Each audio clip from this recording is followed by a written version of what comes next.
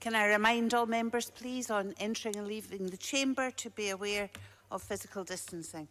And the next item of business is debate on COVID-19 next steps communities. Can I ask those members who wish to speak in the debate to press the request to speak buttons? And I call on Aileen Campbell to speak to and move the motion for up to 12 minutes. Please, Cabinet Secretary. Thank you, Presiding Officer, and I'm delighted to be leading this debate alongside the Cabinet Secretary for Social Security and Older People. Each of us across the Chamber is acutely aware of the traumatic and harsh effects of the COVID-19 pandemic.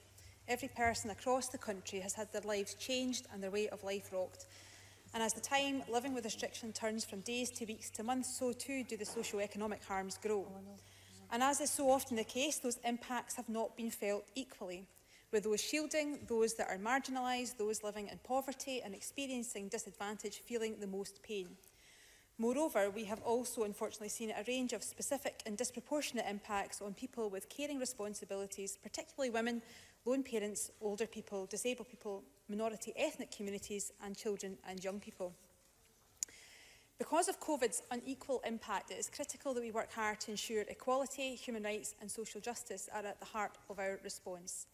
Therefore, maintaining and developing a coordinated approach which addresses the often multiple experiences of poverty and inequality in people's lives will be central to our ability to respond successfully and to the challenges that we will face. It will also support our wider ambitions, such as reducing child poverty, and will align with our national performance framework, which embeds our human rights-led approach and our focus on wellbeing, fairness and outcomes. So for this debate, presiding officer, we aim to update the Parliament on the work undertaken to date, work that has been hallmarked by remarkable partnerships across the public, private, third sector and our communities. Work that has happened across the country against a devastating backdrop that has generated huge social gains with remarkable speed and resolve. And through that partnership and our discussions, what is clear is the palpable desire to continue working differently – Do not accept the inevitability of poverty or inequality, but instead use this pivotal moment to do more than help the country recover, but to also renew, reform and reimagine, to build back better and to do so together. Presiding officer, the oft used word to describe COVID-19 has been unprecedented and it required and still requires our response to be unprecedented in order to meet the monumental scale of the pandemic challenge head on. Our total commitment to additional expenditure, including for the NHS, has been worth around £3.8 billion. And on the 18th of March, I announced a £350 million package of support for communities to ensure local authorities, communities and the third sector are able to support those most affected. This included a third sector resilience fund that has so far provided over 20 million to nearly 1,100 organisations to help stabilise and manage cash flows over this difficult period, with over 12,000 jobs saved to date. A supporting communities fund that is currently investing in 356 organisations and communities across Scotland with spend over 14 million up to this point. And a wellbeing fund allocating over 25 million pounds to date through around 2,000 awards to third sector organisations up and down the country that are supporting communities in need at this time and we continue to manage these funds flexibly to ensure the best possible response to the crisis, including cutting through red tape and getting money to where it's needed most across Scotland. This funding has reached every part of Scotland, supporting community groups and third sector organisations mobilise their local resilience plans, tackle isolation and loneliness, and provide direct sustenance to those that are struggling.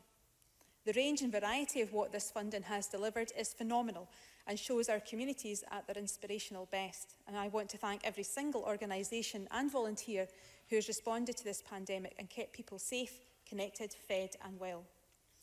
So to show where this support is reaching, I have today published a series of maps setting out our investment across the country, which gives the detail and information needed to illustrate what I have described. Throughout, we have worked in close partnership with businesses, local authorities and the wider public sector and the third sector, each stepping up to respond to the pandemic. In the case of Firstport, SCVO, CORA, Social Investment Scotland, Just Enterprise, Inspiring Scotland, the Hunter Foundation and third sector interfaces in every local authority are helping us set up systems and distribute the funding and we are sincerely grateful to them for that collected effort. And I'd also like to thank all of our partners helping us deliver the Supporting Communities Fund. From the start of this pandemic, access to food, though, has been a concern for many, and we have actioned a blend of different approaches in order to deliver the support where it's needed and how it is needed. Our £70 million food fund has made sure all those in the shielding group can get the food they need while they have to self-isolate.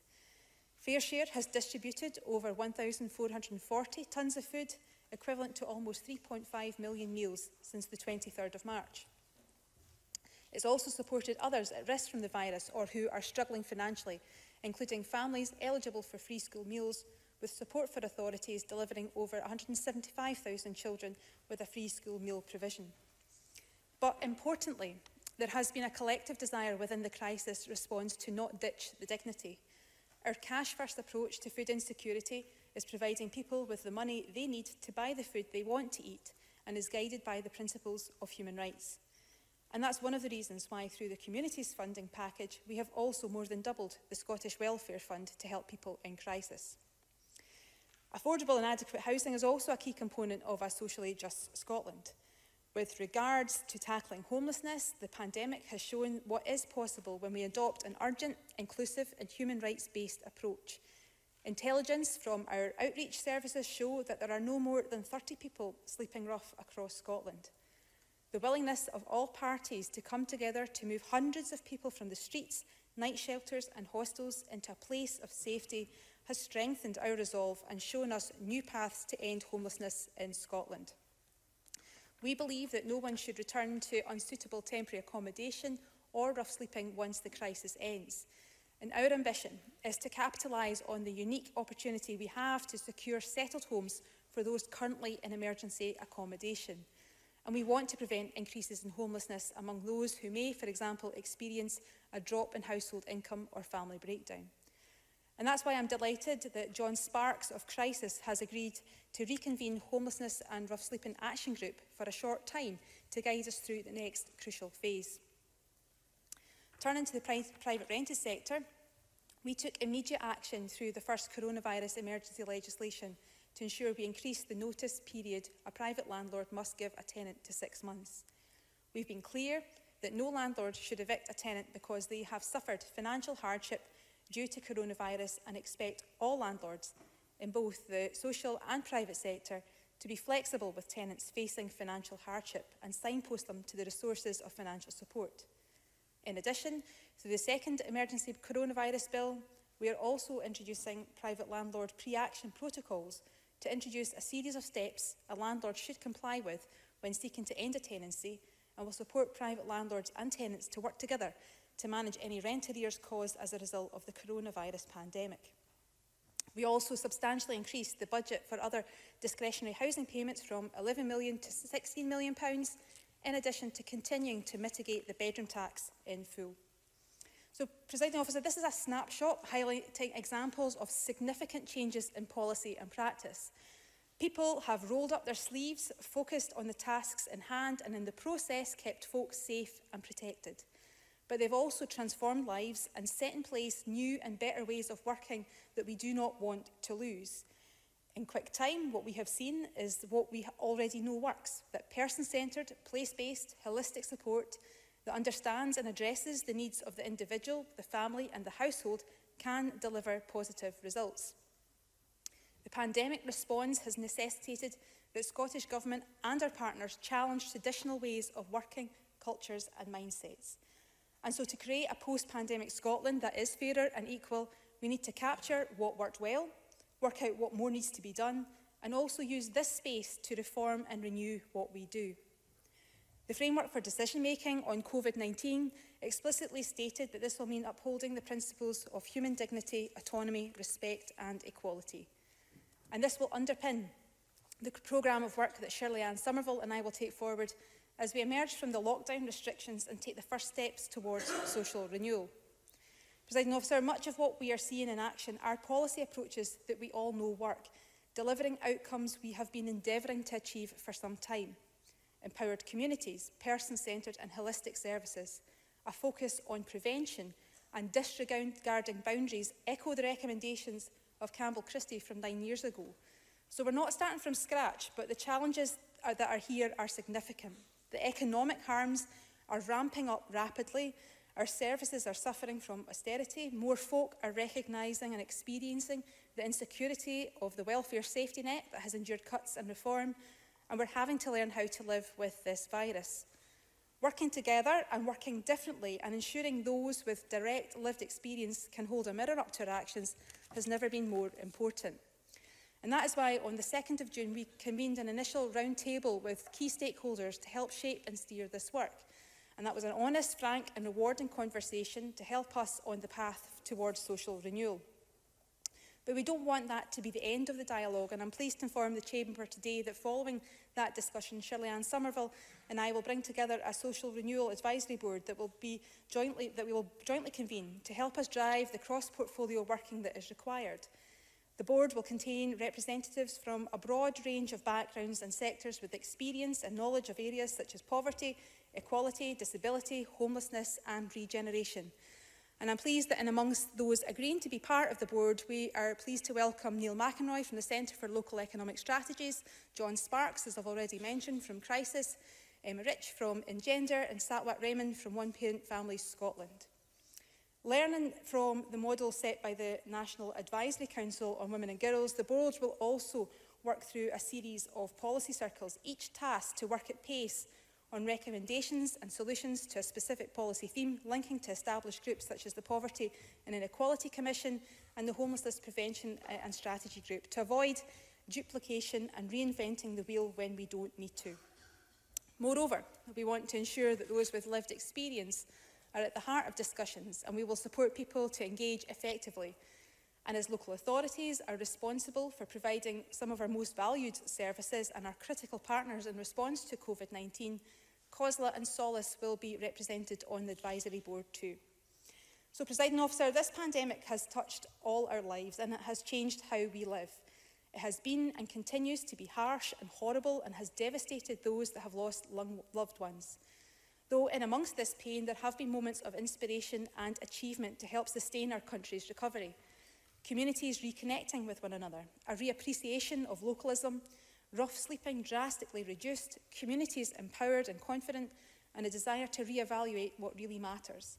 That spirit and this Parliament can work towards creating a response to this pandemic that dismisses the I-bean attitude and instead embraces innovation, rights, equality and fairness.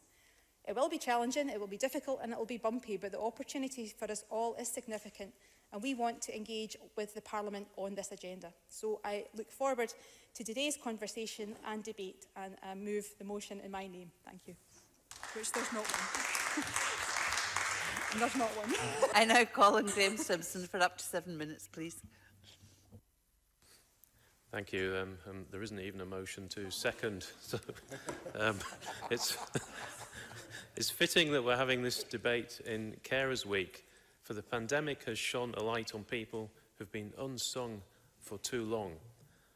I hope that once this is over, we'll treat our carers better and that those in our care homes will not be forgotten about.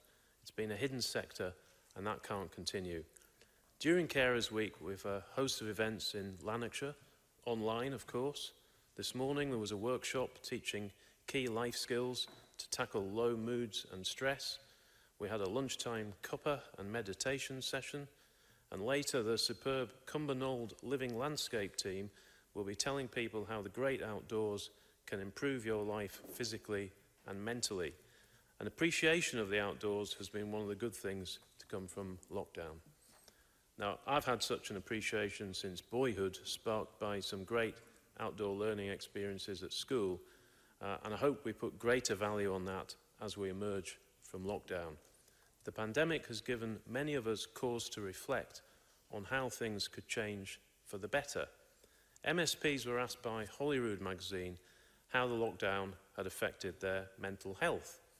My answer was that for me it's actually been quite uplifting in many ways. The weather's been good. I've had more exercise than I've had in many years.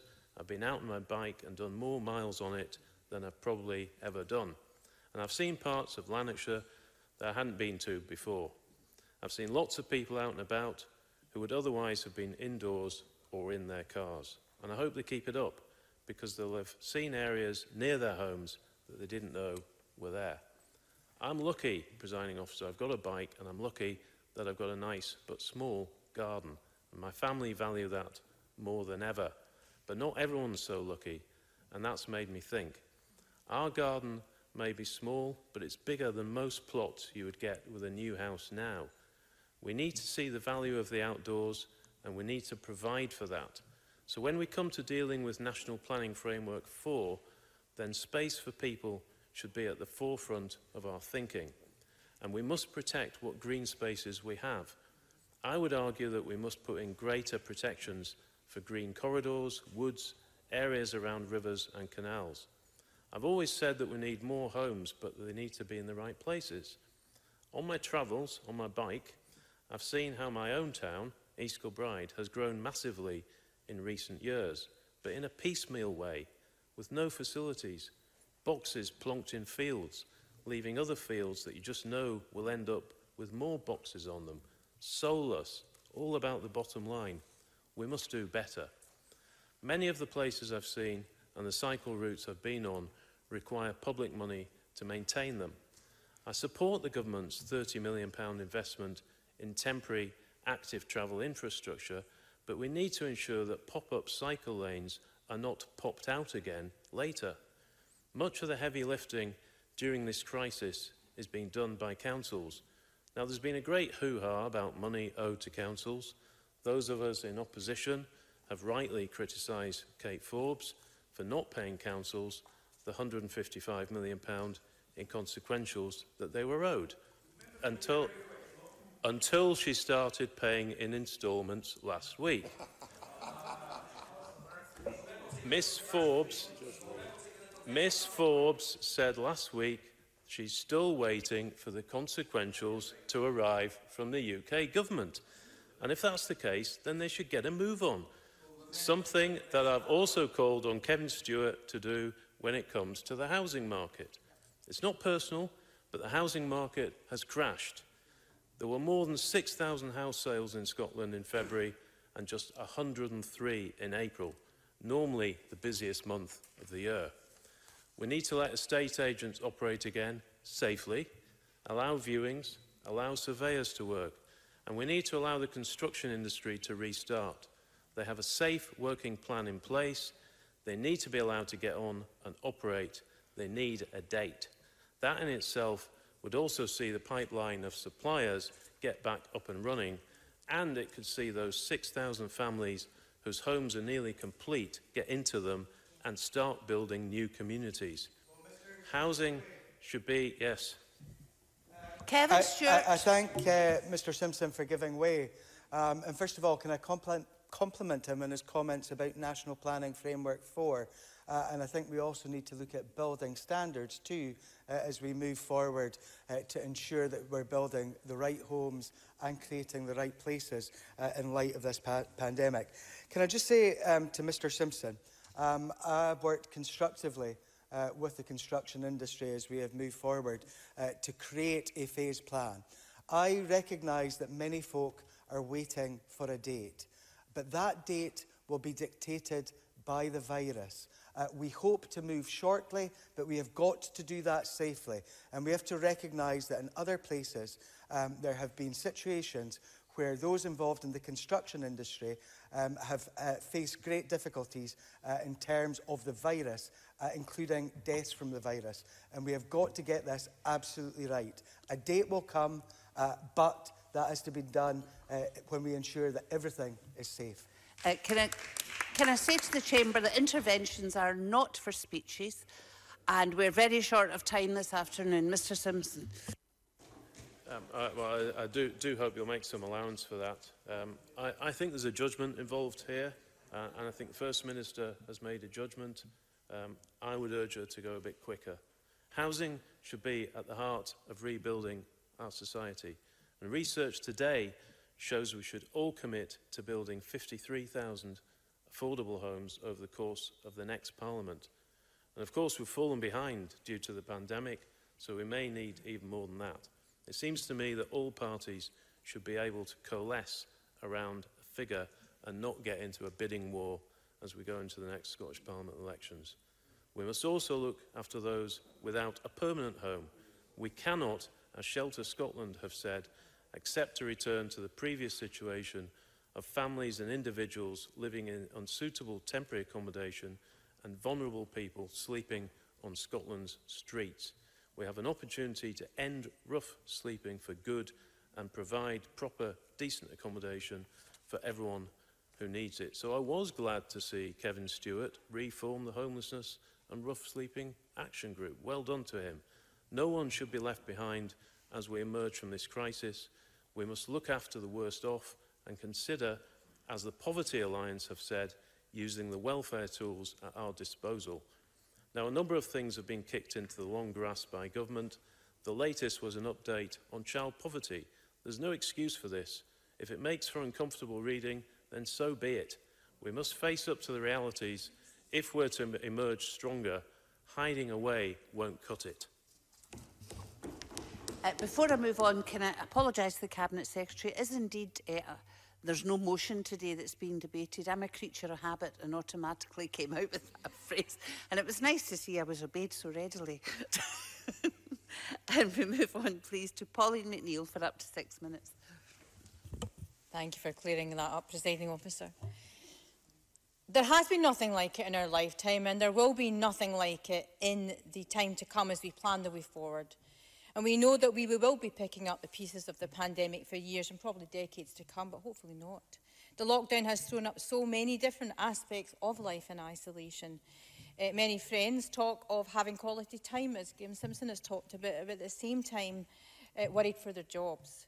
And those who are at work are worried about travelling to work, worried about their health, and as we know, key workers are actually risking their lives for all of us in the NHS.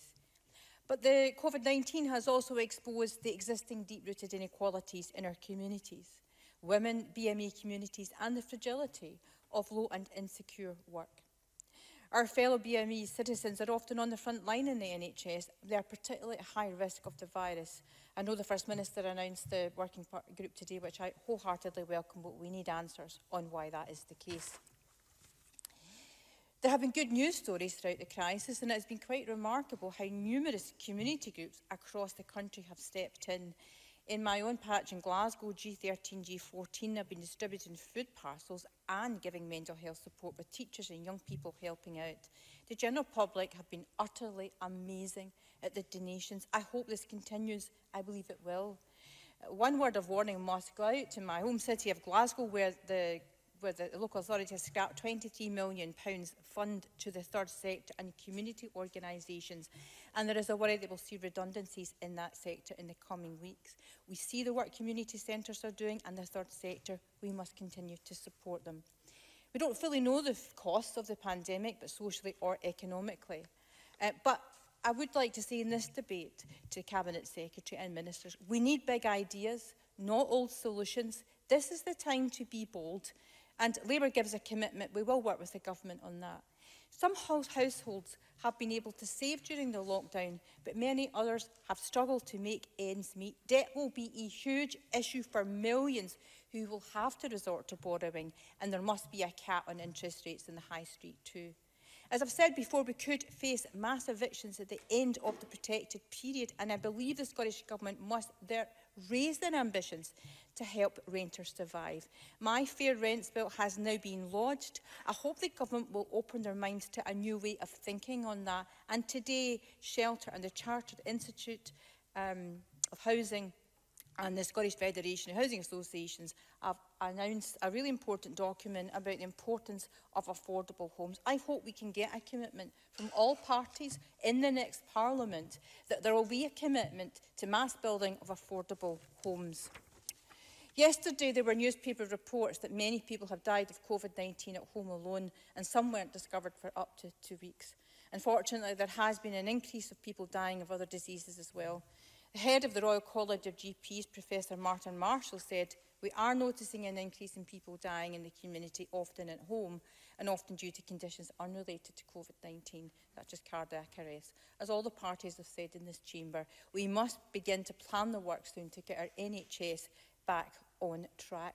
Doctors say that most of the cases involve older people living alone and others, the person who has died has a mental health condition such as schizophrenia or depression. Our treatment of older people has been a test for our society right now and I do think there are some aspects of that have been wanting. I want to spend my last minute or so talking about the age group of 16 to 24 because I do believe that they are amongst the biggest losers in the crisis. They are twice as likely um, to lose their jobs in the types of employment um, that they are found in. Um, I'm hugely concerned for the shielded group and I want to address this question of the shielded young people. I raised this with the First Minister last week. Sitting at home while their chances for work and opportunities pass them by. Now, in, ans in answer today to a parliamentary question when I asked about this vulnerable group, the answer I got I felt was an old solution, and I really hope ministers listen to this. Skills Development Scotland have a new fund. This is all good. But if you consider most young people that you know, how many of them know that Skills Development Scotland exists? Did they have the first clue how to get in touch with them? Well, I ask ministers, if you're really serious about getting bold about this and being radical, why can't the government seek to contact every young shielded person because they've all been written to? Why can't there be some direct contact with them to see what they need? in terms of skill and training. I, I really want to engage with ministers on this. My niece said that she was interviewed for a place on a course while she was organising dinner for the family. She was asked two questions that she thought were rather odd. This is the course that she wanted to go on. She's the career we're talking about. She was refused a place, no course of appeal, no contact from the college. Eh, and another constituent today asked for an advance on his rent because of a house that he could have moved into today or tomorrow and they've refused um, his advance and because he said I'll pay it back when I get a job he doesn't know when that's going to be uh, these are the real stories out there right now and there's thousands of them I'll perhaps give away I'm conscious of time and uh, I, I recognise the, the points that Polly McNeill has made and I'll endeavour to make sure that we raise them and engage those really, I think, reasonable, pragmatic, actually, uh, suggestions and make sure we raise them with the right minister. But I also think the point that she makes is really important, which what I addressed in my opening remarks about the stories of lived experience, about people's experience of services that we need to make sure that we don't just get the same old folk round the same old tables. We need to make sure that lived experience also ensures that we uh, the influence and guide our approach going forward. So I would agree uh, much uh, with... Of that was hardly Quick, Cabinet Secretary. you need to close now, miss mcneil if I could put in record presiding officer, that, that's, that are the kind of answers that Labour is looking for, that you will listen to radical ideas. If I could see this in closing, presiding officer, I will close, because I did want to see this. Big companies and supermarkets must pay in. They have been doing well out of the pandemic. They must continue to support communities. And I just wanted to close with this quote. It's from a colleague of mine, Dave Watson, who blogged for Commonweal. If we are going to build back better, we need to create a common understanding of how the pandemic had exposed the failures of our economy and democracy and develop the ideas to fix it. Many thousands of our citizens are dying from a virus. We should make, it should make us all think about what we want from our society. I don't think it is overly philosophical to suggest that the answer is not more greed and acquisition, but rather sufficiency and security. Thank you, Presiding Officer. Uh, before I go any further, can I... Um, give due notice that we're well out of time. Um, it's either that decision time will be made later or speeches will be cut in their timing. Uh, call Andy Whiteman, six minutes, please. Thanks, Presiding Officer. I want to th start by thanking all the community organisations across Scotland, the charities, voluntary groups, local government and social enterprises for their extraordinary efforts over the past uh, two months in supporting uh, communities. Uh, as we well know, the virus has exposed existing inequalities, uh, with women, minority ethnic and the young being disproportionately affected by the social and economic impact uh, of the virus. And this is a, a structural issue as most of these groups are often employed at the most at-risk jobs, are poorly rewarded and have the least security in relationship to the housing and the job market. Now, in the wake of the murder of George Floyd and the heightened awareness of police violence and racism more generally, I want to highlight the particular impacts of COVID-19 uh, and deaths amongst the black and ethnic minority populations. Not, it appears, because of any biological predisposition, but because of structural inequality and, yes, racism. In Scotland, uh, BEMIS has been doing valuable work through its Ethnic Minorities National Resilience Network, responding to the many and varied challenges affecting black, Asian, Roma and other ethnic groups. I know this work has been supported by the Scottish Government, but I was concerned that they had to suspend their emergency sustenance grant fund in mid-May until the closure of this grant, Bemis had distributed £32,170 to 806 people in total, 391 adults and 415 children and young people. Despite a request for more support, Bemis has not yet had uh, any confirmation and I would invite the Cabinet Secretary to confirm whether indeed ongoing support will be available for this vital uh, programme. Presiding officer, the question of housing is central to this pandemic and has already featured in members' contributions. People are being instructed to stay at home. Indeed, it is a criminal offence to leave the place where you are living without a reasonable excuse. And it's clear that growing numbers of private tenants face growing insecurity. A recent study by the Joseph Rowntree Foundation last week showed that 30% of furloughed private renters are worried about being able to pay their rent. This is across the UK.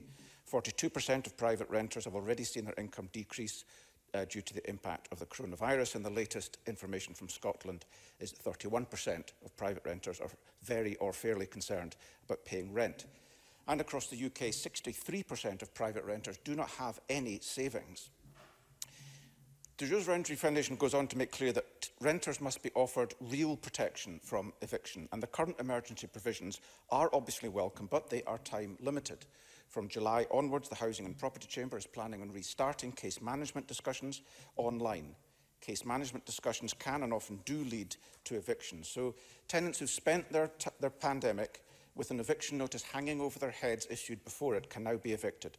On the 6th of October, eviction notices issued during the pandemic, because of course the eviction ban was an extension of the notice period and not a ban, will begin their journey through the courts if this provision is not uh, extended. Also in October, if the provision not extended, the grounds for eviction temporarily made discretionary by the Coronavirus Act will be mandatory again. This means that the Housing and Property Chamber must evict tenants who have been in arrears for three months or more. Now, people are facing immense financial insecurity and high rents, and they will inevitably face eviction. All of this has the potential to cause a tidal wave of evictions. Now, the Scottish Government and the third sector have done excellent work on homelessness, and I welcome the re-establishment uh, of the Homelessness Task Force. But all that work could well be undone. So I return to the issues that I raised in the coronavirus bill debate on the 20th of May and would appeal to ministers to reconsider their approach to this issue Even the Tory government in London has gone further, as announced last Friday by the Master of the Rolls. Tenants need a new deal to ensure that their human rights to a home are upheld, not only during the emergency, but beyond it as well. This is about giving certainty to landlords as well as to tenants. The Chartered Institute of Housing, as Pauline McNeill mentioned, has called for no evictions as a result of coronavirus arrears. So we do need additional legislative protections for tenants principally ensuring that rent arrears arising during the emergency and as a consequence of COVID-19 cannot by law be grounds for eviction. But we can do more as well. Even if the law were to be changed, those arrears would remain debts. They'd remain debts that were payable and they would need dealt with in time. And we need a solution to this. For example, credit unions could leverage their funds to lend to tenants in distress. Those tenants could enter into a binding agreement with their landlord for revised payment terms over, say, two years. Monies would be paid into a tenant's credit union account in a lump sum and then paid to the landlord according to that agreed plan while the tenant earned interest on the funds. The government could underwrite uh, a uh, provide a guarantee, for example, 10% uh, of that loan amount. This would provide a safety net for tenants and landlords, underwritten by government, and is the kind of scheme that ministers have the powers to initiate, to develop and promote in partnership with tenants' unions, credit unions and landlords. Now, these are not radical suggestions, but real workable ideas that people are bringing to the Scottish Government. But the starting point must remain this. Nobody, nobody should be evicted from their home as a result of coronavirus, either during the emergency period or after it has expired. This is a public health imperative now, and it will remain a public health imperative after the emergency period. Now, I'm not interested in rehashing whether ministers have done enough up until now. I'm asking what they will do next to, provide, to prevent a perfect storm of housing insecurity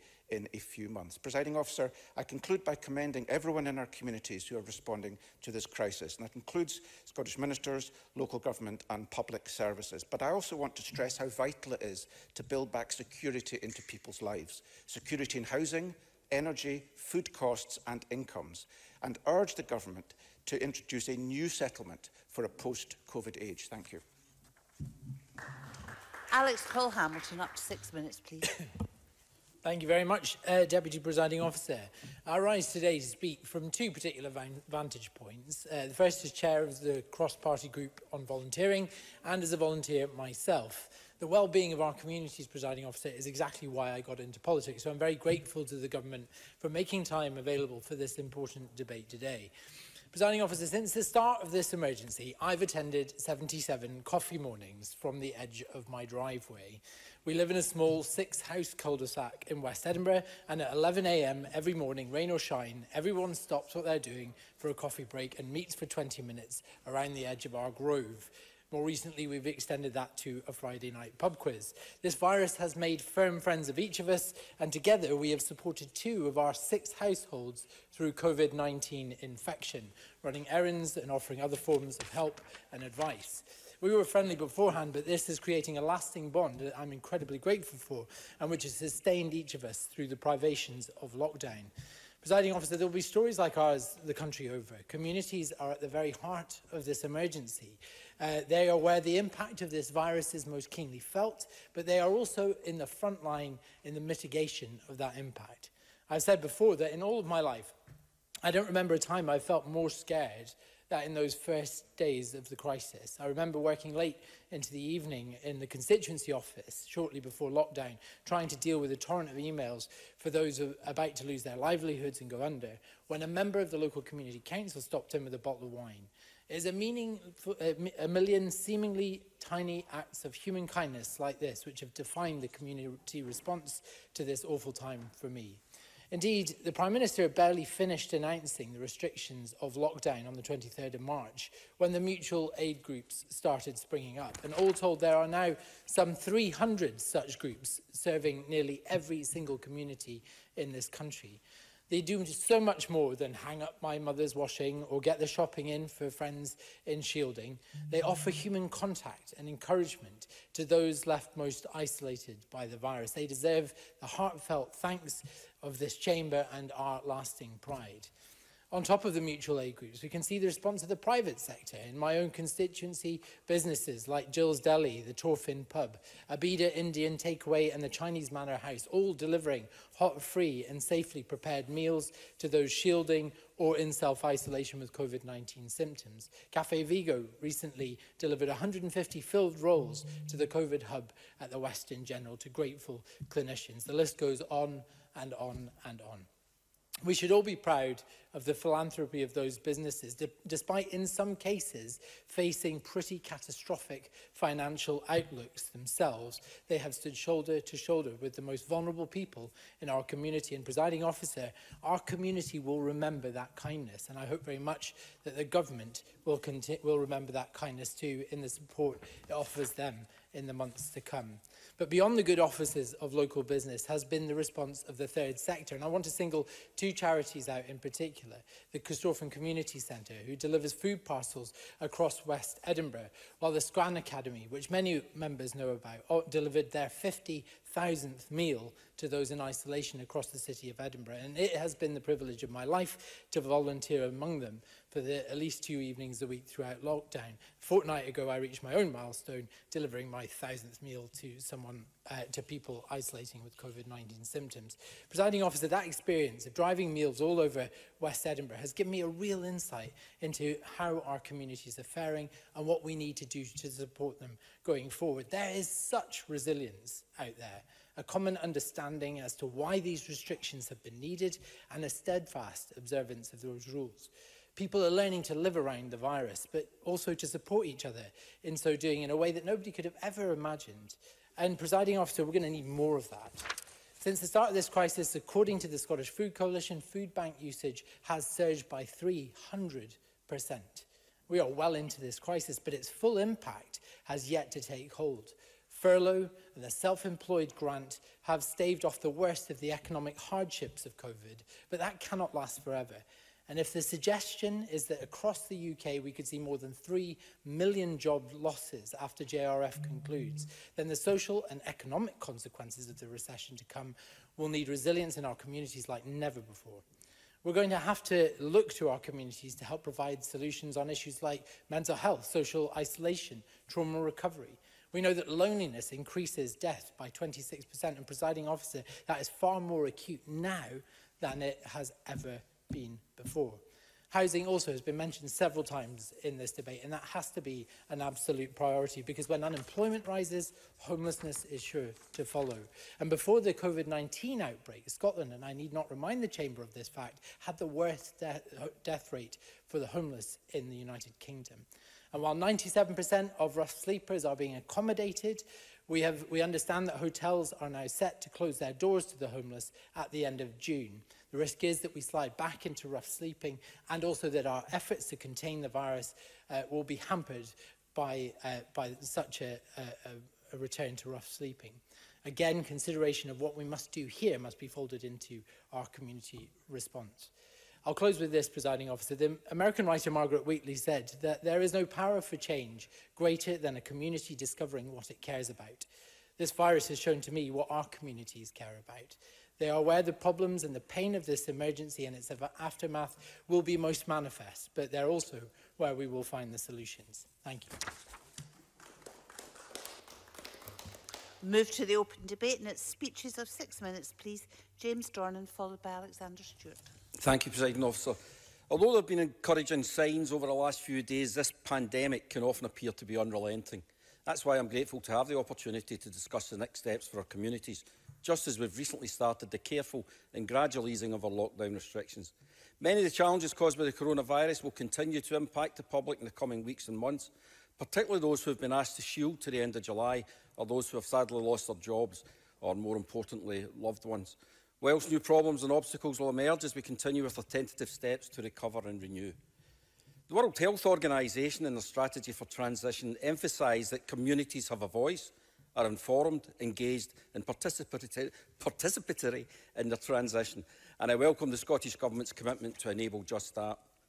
Presiding off at the beginning of the coronavirus emergency, the Scottish Government introduced the £350 million fund to allow councils, charities, businesses and community groups to respond to the situation swiftly and according to local need. And has already been mentioned, there's a £70 million food fund, £50 million wellbeing fund and a £40 million supporting communities fund. Groups working in the heart of our communities have a wealth of experience in responding to different local and national challenges. and the funding available has been a valuable lifeline to those who need help most.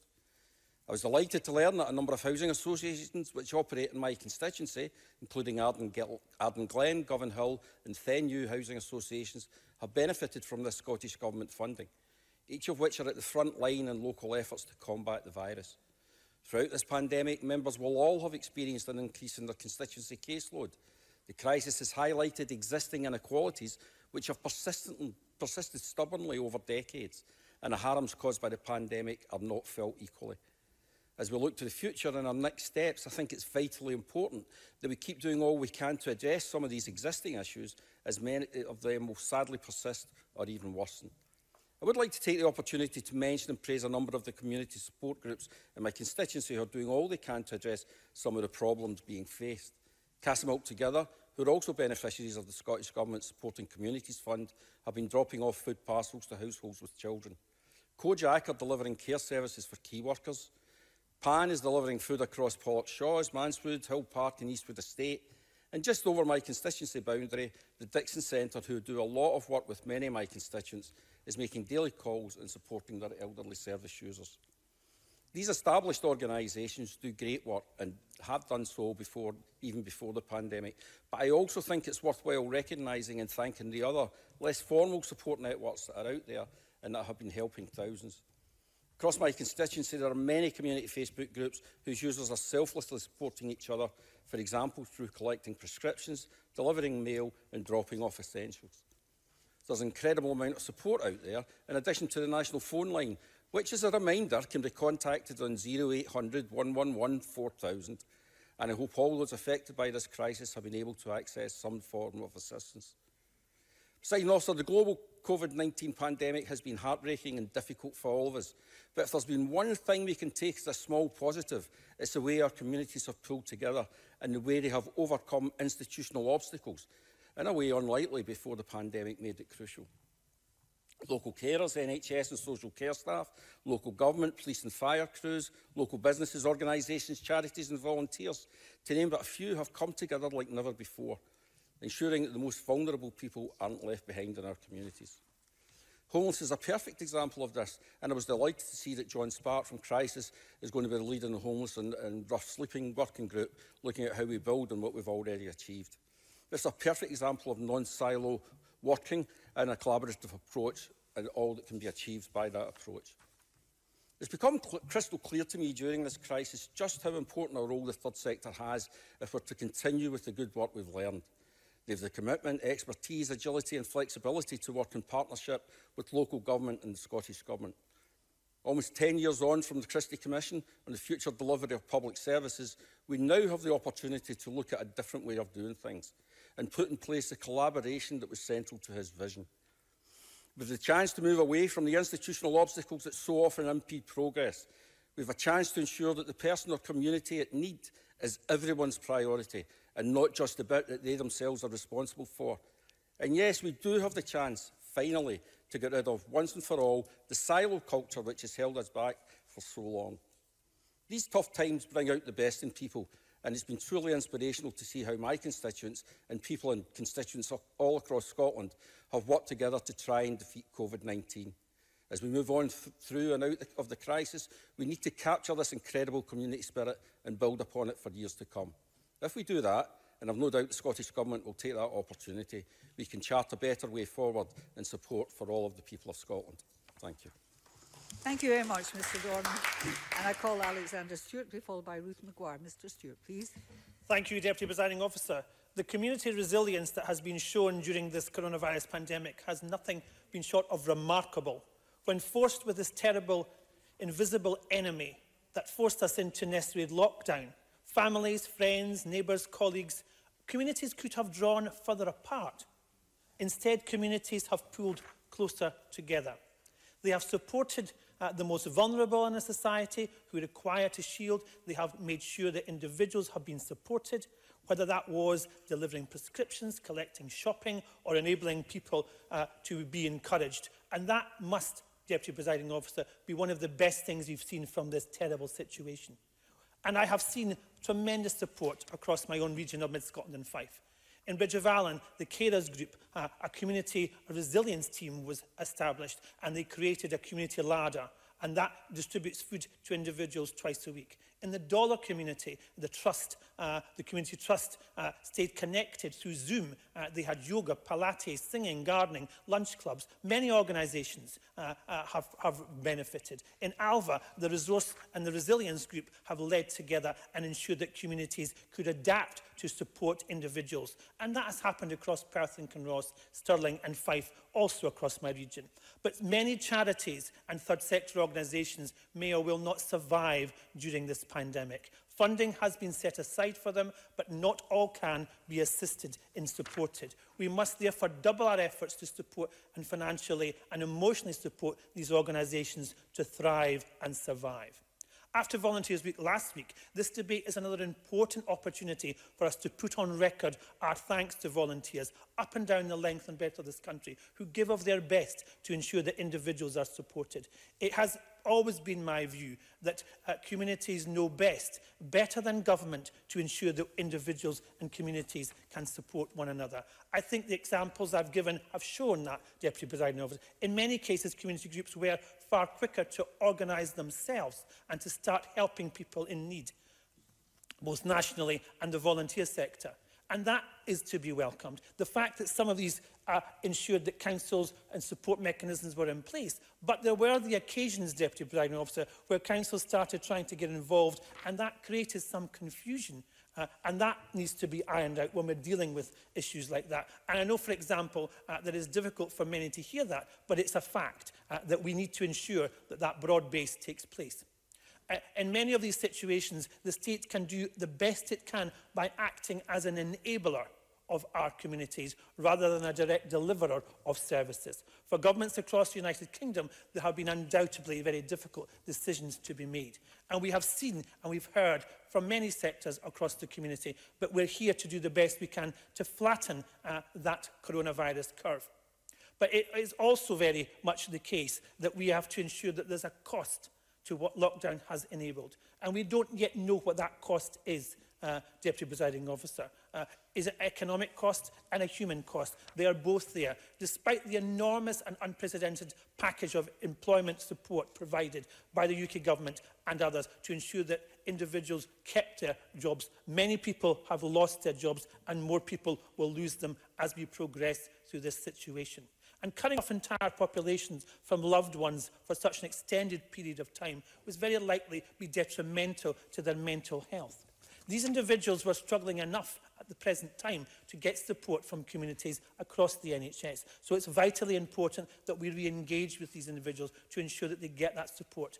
And the steps that we're taking today are very much that. They're the steps out of this situation. They're the steps that will give us opportunities. And we have to support the existing groups and organisations. And that may mean a, a, a step change uh, to ensure that support is financial. We've always been amazed and impressed by the fact that a small amount of money into a situation locally can have a huge impact, an enormous impact in what can be achieved. Uh, and that needs to be the case. The whole idea about genuine partnership working has to be embraced. Uh, we must ensure that councils, health boards and public sector organisations work collectively together. It has happened during this pandemic. It needs to happen in the future. And as I've said, it's vitally important that we all organise and support to ensure that the best ways that happen. We do not want a top-down government knows best approach. But what we need to do is put the third sector in the driving seat to ensure that that is the best way we can move forward. This debate today has given us the opportunity of a snapshot of what has been achieved to date.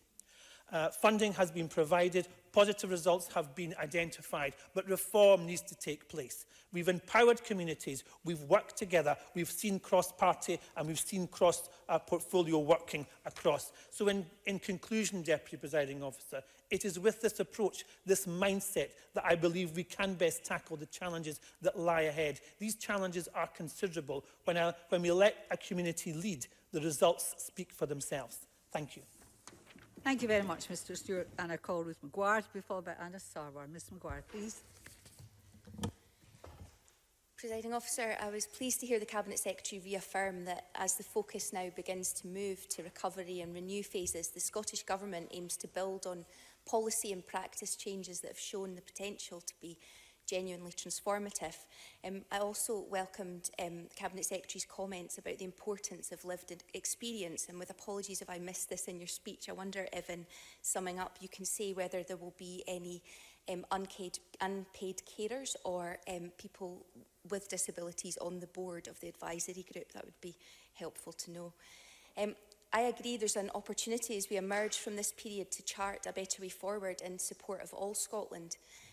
Um, the Scottish Government and this Parliament must grab that opportunity with both hands. Cross-party working on the emergency legislation with productive, constructive scrutiny, coupled with unprecedented reprioritisation of resources and powers have shown what can be done where there's a will to do it. As we plan a route through this crisis, we need that same will to tackle poverty, addiction and inequality. These things also threaten the lives of the citizens we represent. I've said before, as have many others, we're all in the same storm, but we're not in the same boat. This health crisis has highlighted and, in many cases, exacerbated deep existing inequalities which have persisted stubbornly over the decades. The harms caused by the pandemic and the harms of the measures put in place to manage it and save lives are not felt equally, and government responses should reflect that in making decisions fairness and quality of life for all our citizens must not only be considered but also acted upon. Things that campaigners have been calling for for years dignified food provision, accessible information, online classes, support with isolation in a matter of weeks became mainstream. Presiding officer, six minutes doesn't give me enough time to mention all the wonderful volunteers and organisations in my Cunningham South constituency, but I want to say that I'm grateful to each and every one of them and just provide a snapshot of, of some good work that's going on. Fullerton Hub in my uh, hometown Irvine has 56 volunteers under the leadership of Donna, Donna Fitzpatrick, and they're absolutely knocking their pans in seven days a week. They're doing dog walking and prescription pickup for those who are shielding. They're preparing and delivering 149 fresh meals a day from a very relatively small kitchen, good quality fresh cooked food for those sh shielding. And it's not just in Fullerton. They're helping people throughout Irvine. They're also providing personal shopping for older folk in the area. I think that's really important because some of what comes with dignity is actually having choice and, and it being a personal shopping um, service gives older people that choice. They decide what, what messages they're getting. Um, for those needing a helping hand in the community, there's always been a food larder at the centre, well, for sort of 10 months or so. At the moment, that's scaled up hugely, and there are around 200 food parcels going out a week.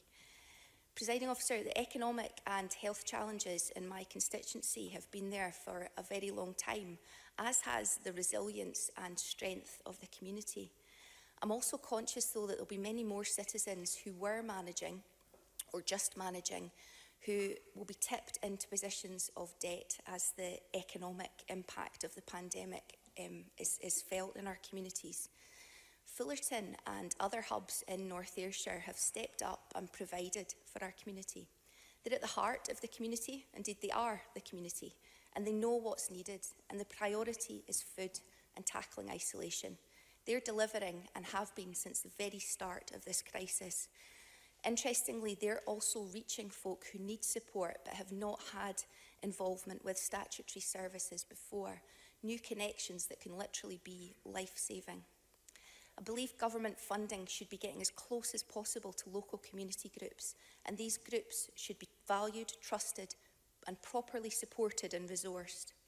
And all the Third Sector Resilience Fund was designed to be flexible and cut down on red tape. And I should mention that in evidence, the Equalities and Human Rights Committee, we heard some really positive feedback about that funding and the ease of application. But I also have a local example of that not being the case, which I'll share with the CABSEC if that's okay. Um, I was also struck by ev evidence from Radiant and Brighter to the committee that the lack of certainty around sustainable funding meant that they didn't actually apply. And I think I can understand why there might be a reticence around setting expectations of help that would only be met short term. And maybe we have to reflect on that, on the impact and potential harm of starting supports and interventions for at risk people and then having to stop.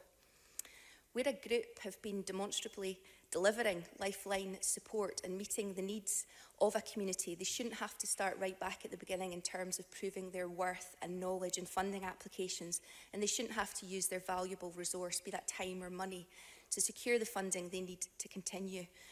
Politicians frequently call on groups like Fullerton Community Association to talk around the country about community empowerment. Um, none of us are ever shy about that, and rightly, our small groups and, and charities deserve praise. But in some ways, presiding officers, our communities don't need empowered in the sense of developing skills, a voice, or knowledge. They have all that already. They are powerful. They need a fair distribution of resource.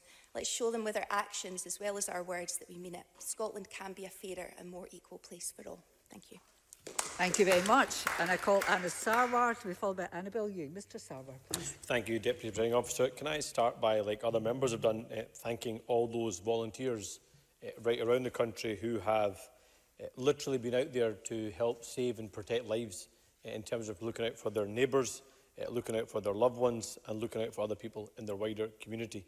Um, I should also declare an interest as a uh, trustee of a charity that has supported mutual aid groups across Eh, the country. So to each and every single one of all those volunteers and all the organisations across the country, uh, a deep, deep thank you. Um, I just wanted to raise a, a few issues with the uh, Cabinet Secretaries today um, in terms of as we enter the next phase of this response to the pandemic. and the first is to mention how we are going to support third sector organisations. it's been referenced before that there's a large scale of third sector organisations that are going to feel a massive impact in terms of their funding uh, having fallen through the ground, uh, not just funding from government, I mean more particularly funding that's come from uh, the public or from institutions. how are we going to support those organisations so they're able to continue to support people in our communities is going to be really, really important. So that's one part in terms of helping to deliver support.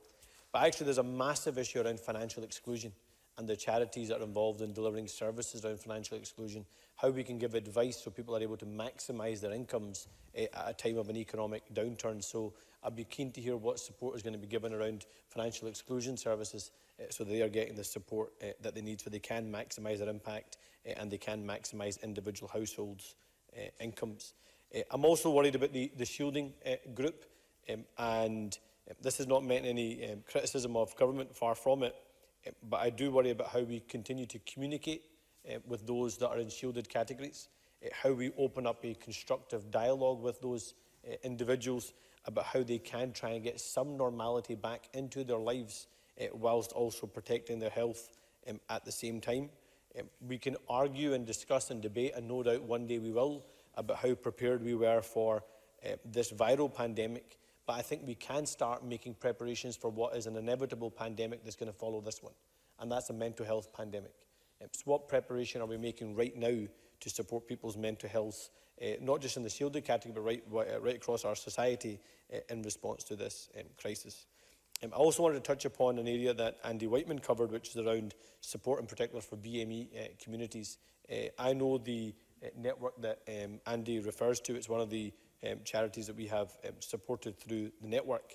Um, we need tailored support for BME communities because quite often there are individuals and families who are hard to reach. And because they have those connections, those relationships, they're able to reach those families, identify those families. Um, so, what support can that network be given, uh, and then how can we further identify other individuals? Um, I welcome the fact that today we've had the announcement of a working group to look at the impact of uh, COVID 19 on BME communities.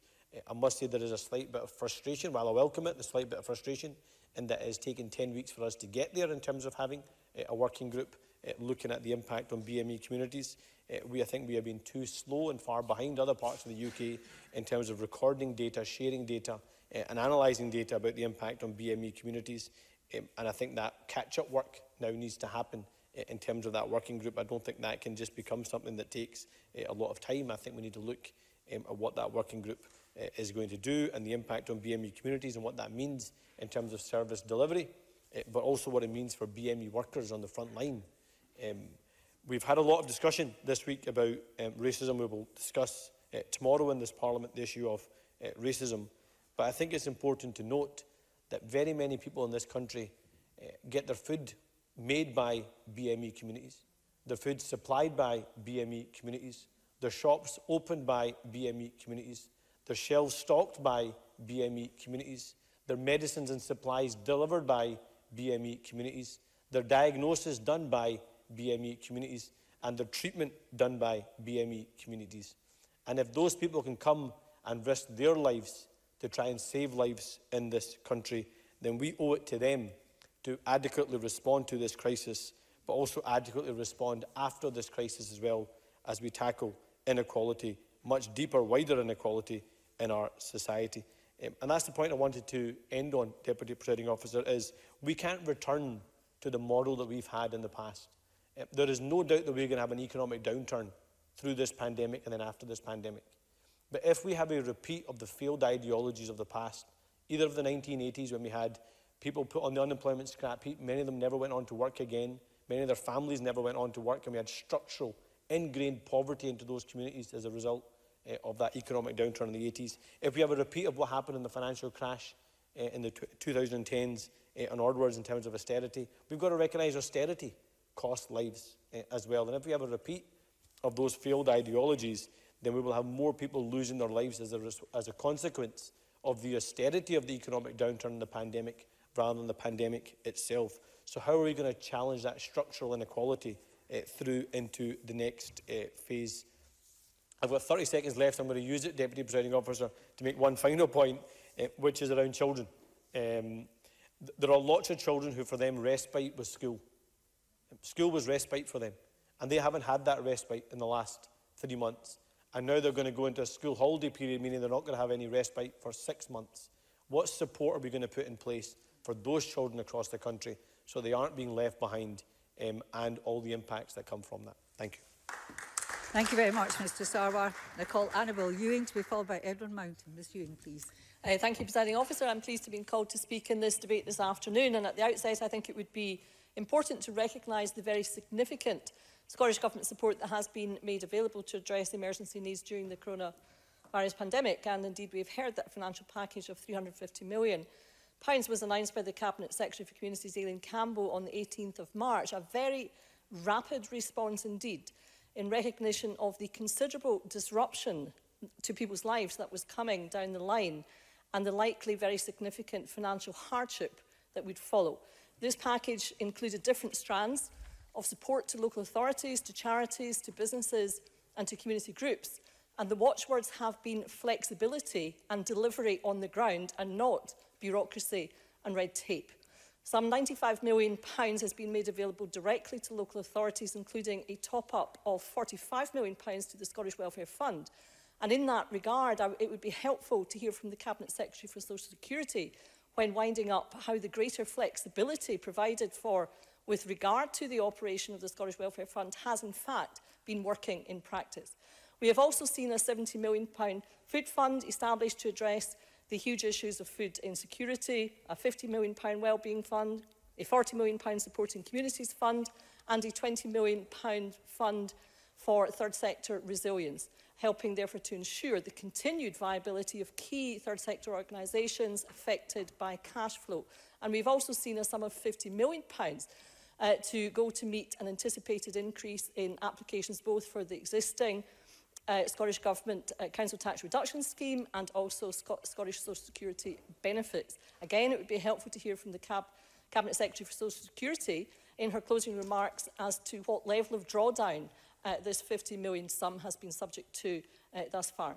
Finally, it is to be noted that at the time of the announcement, uh, 25 million was to be kept in reserve to allow speedy and flexible action when needed to deal with the rapidly changing circumstances that we face. And again, it would be uh, uh helpful to hear where matters stand with that uh, uh, significant amount of reserve, uh, although, of course, it may be that that has been subsequently applied to other important uh, funding streams. Uh, and in terms of the detail, yes, certainly. Cabinet Secretary. The, the reserves uh, eh, have been, been spent most uh, recently. There has been the £5 million top up to the Third Sector Resilience Fund, so we increased that pot. Um, and again, we're kind of keeping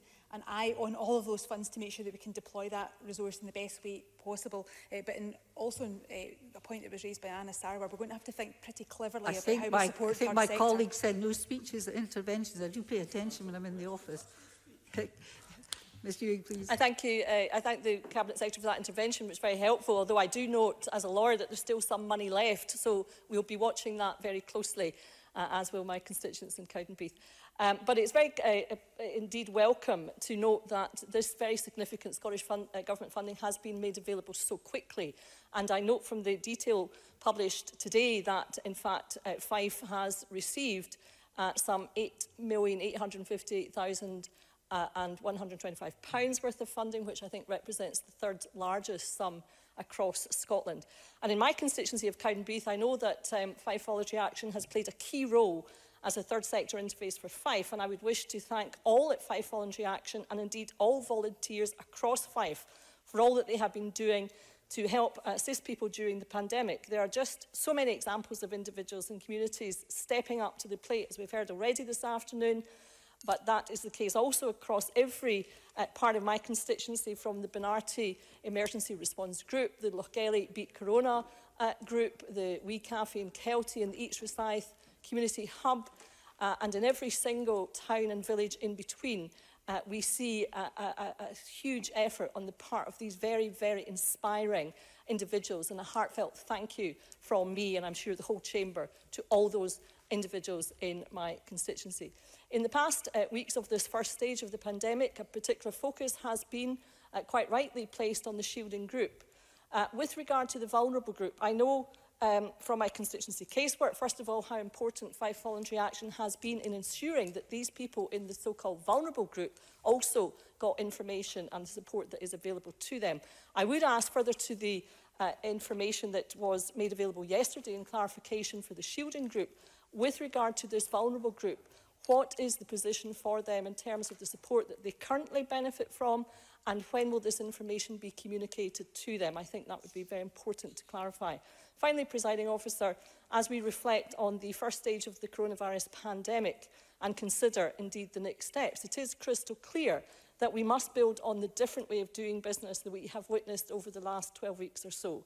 What we have seen is a laser focus on, on delivery the stripping back of what can be seen uh, indeed as unnecessary red tape and bureaucracy, we have seen a key role played by a flexible approach to uh, decision making and we have seen indeed a shared common purpose. In the very challenging times that lie ahead, both emotionally, physically, socially, financially, we need to capture the best of what we have witnessed over these weeks and indeed ensure that the new ways of working become the norm and not the exception, and that we focus on delivery and not structure, and that indeed we seek a reimagining of our society in Scotland. Finally, I would say in conclusion, I'm very pleased indeed to hear of the announcement of the Social Renewal Advisory Board. I wish it well in its endeavours,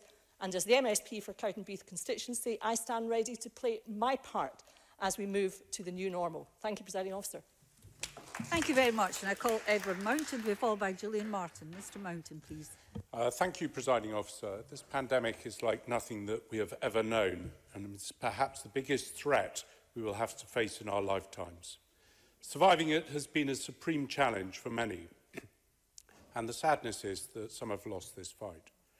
Presiding Officer, my life has taught me that it is in adversity that the strongest teams are built, built on shared experiences and hardship, which can generate hope and positivity. And that is what has happened in the Highlands.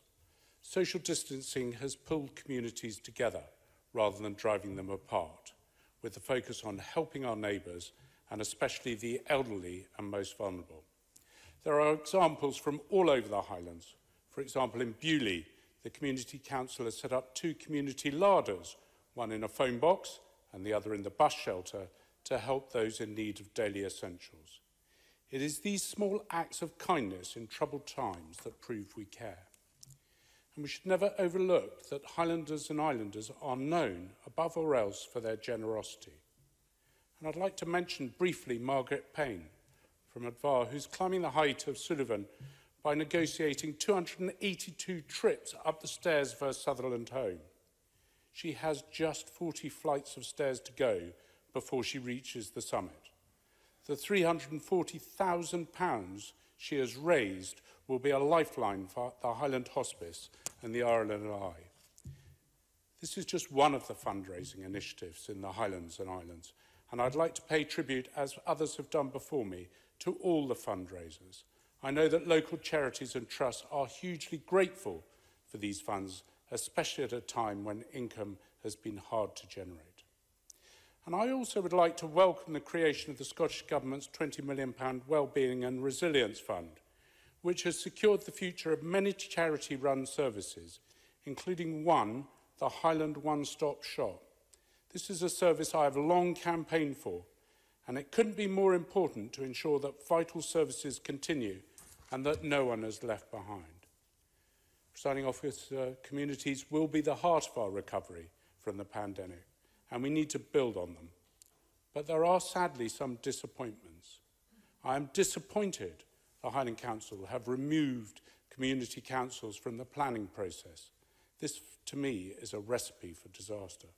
Local communities must always be heard, and this sets a dangerous precedent when planning, planning applications are only scrutinised by a planning officer and the chair of the planning committee. Now, this pandemic has also proved that superfast broadband is far from important. It is critical.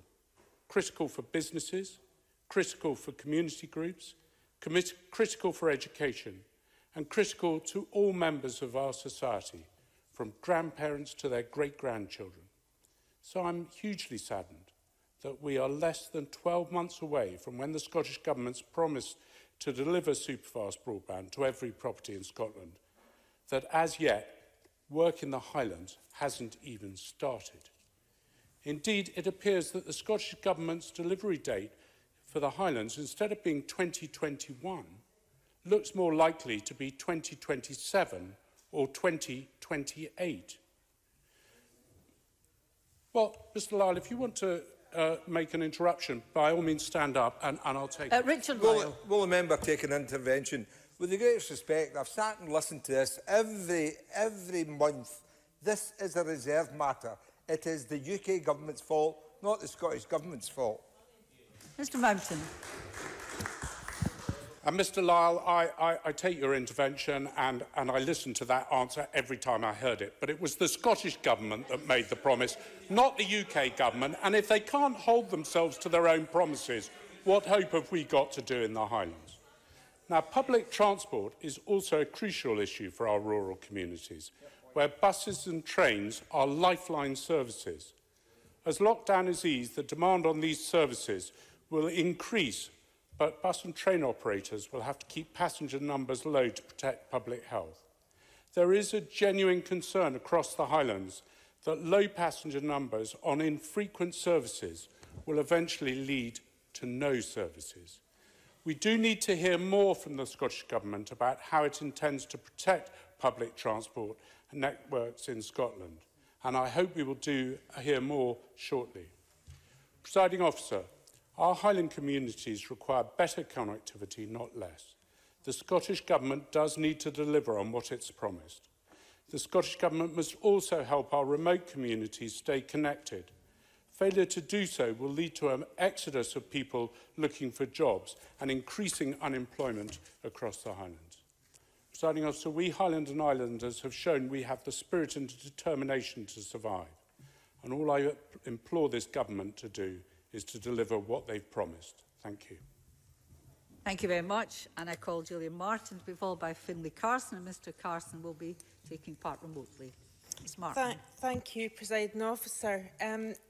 This situation has brought real hardship and loss to so many of our constituents. Yet, in amongst the hardship, sorrow and loss, we've found some sparks of positivity that we, as we move out of the crisis, we must hold on to if we're to come out of it uh, and establish a better way of life for our communities. We, uh, the crisis has uh, accelerated innovation in a way that we live our lives. I, I guess we've been forced to accept ideas that have previously been a bit of a struggle to put into action, maybe because of clinging on to uh, the way it's I been, as we've all seen, or that it was just too difficult.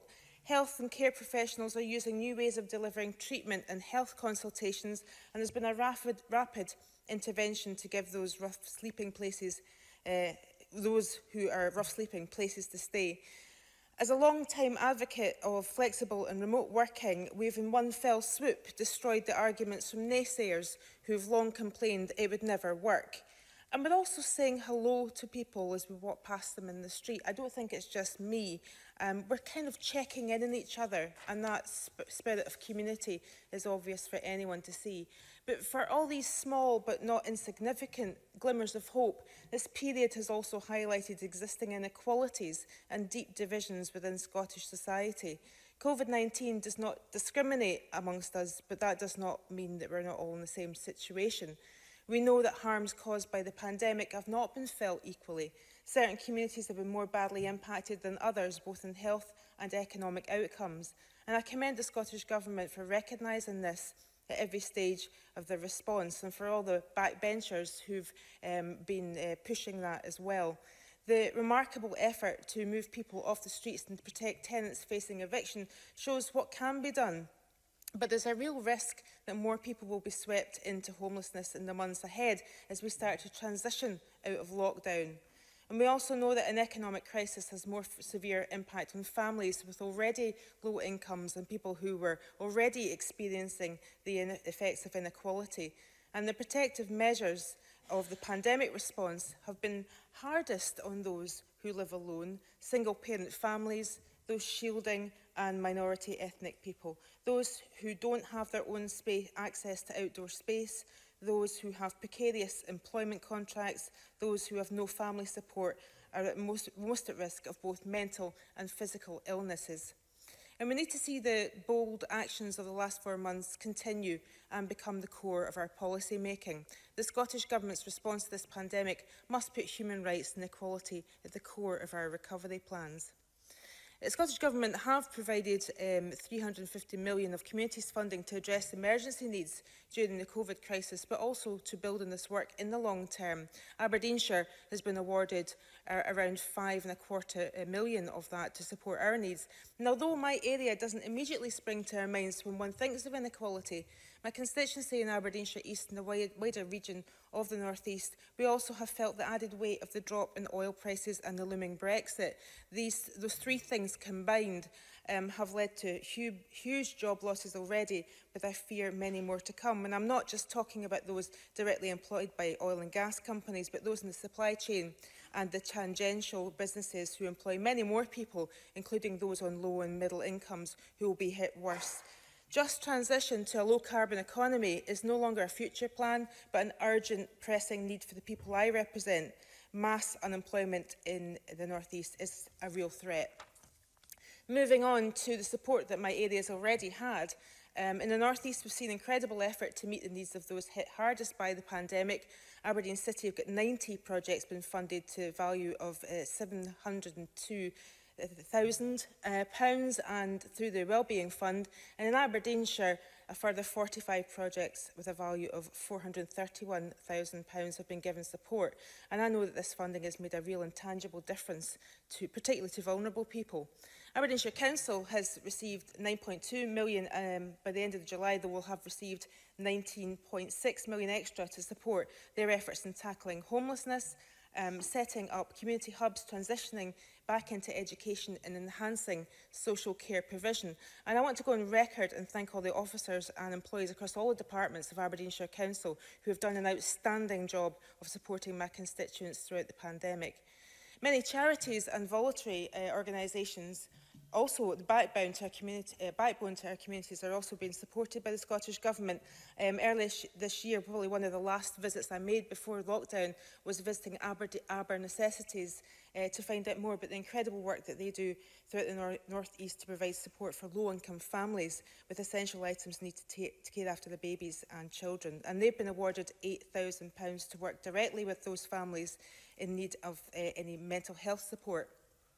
And the Gordon Group Riding for Disabled uh, Association in Keith Hall have been given uh, 6,500 to focus on work with um, uh, children who are, uh, have disabilities and additional support they need.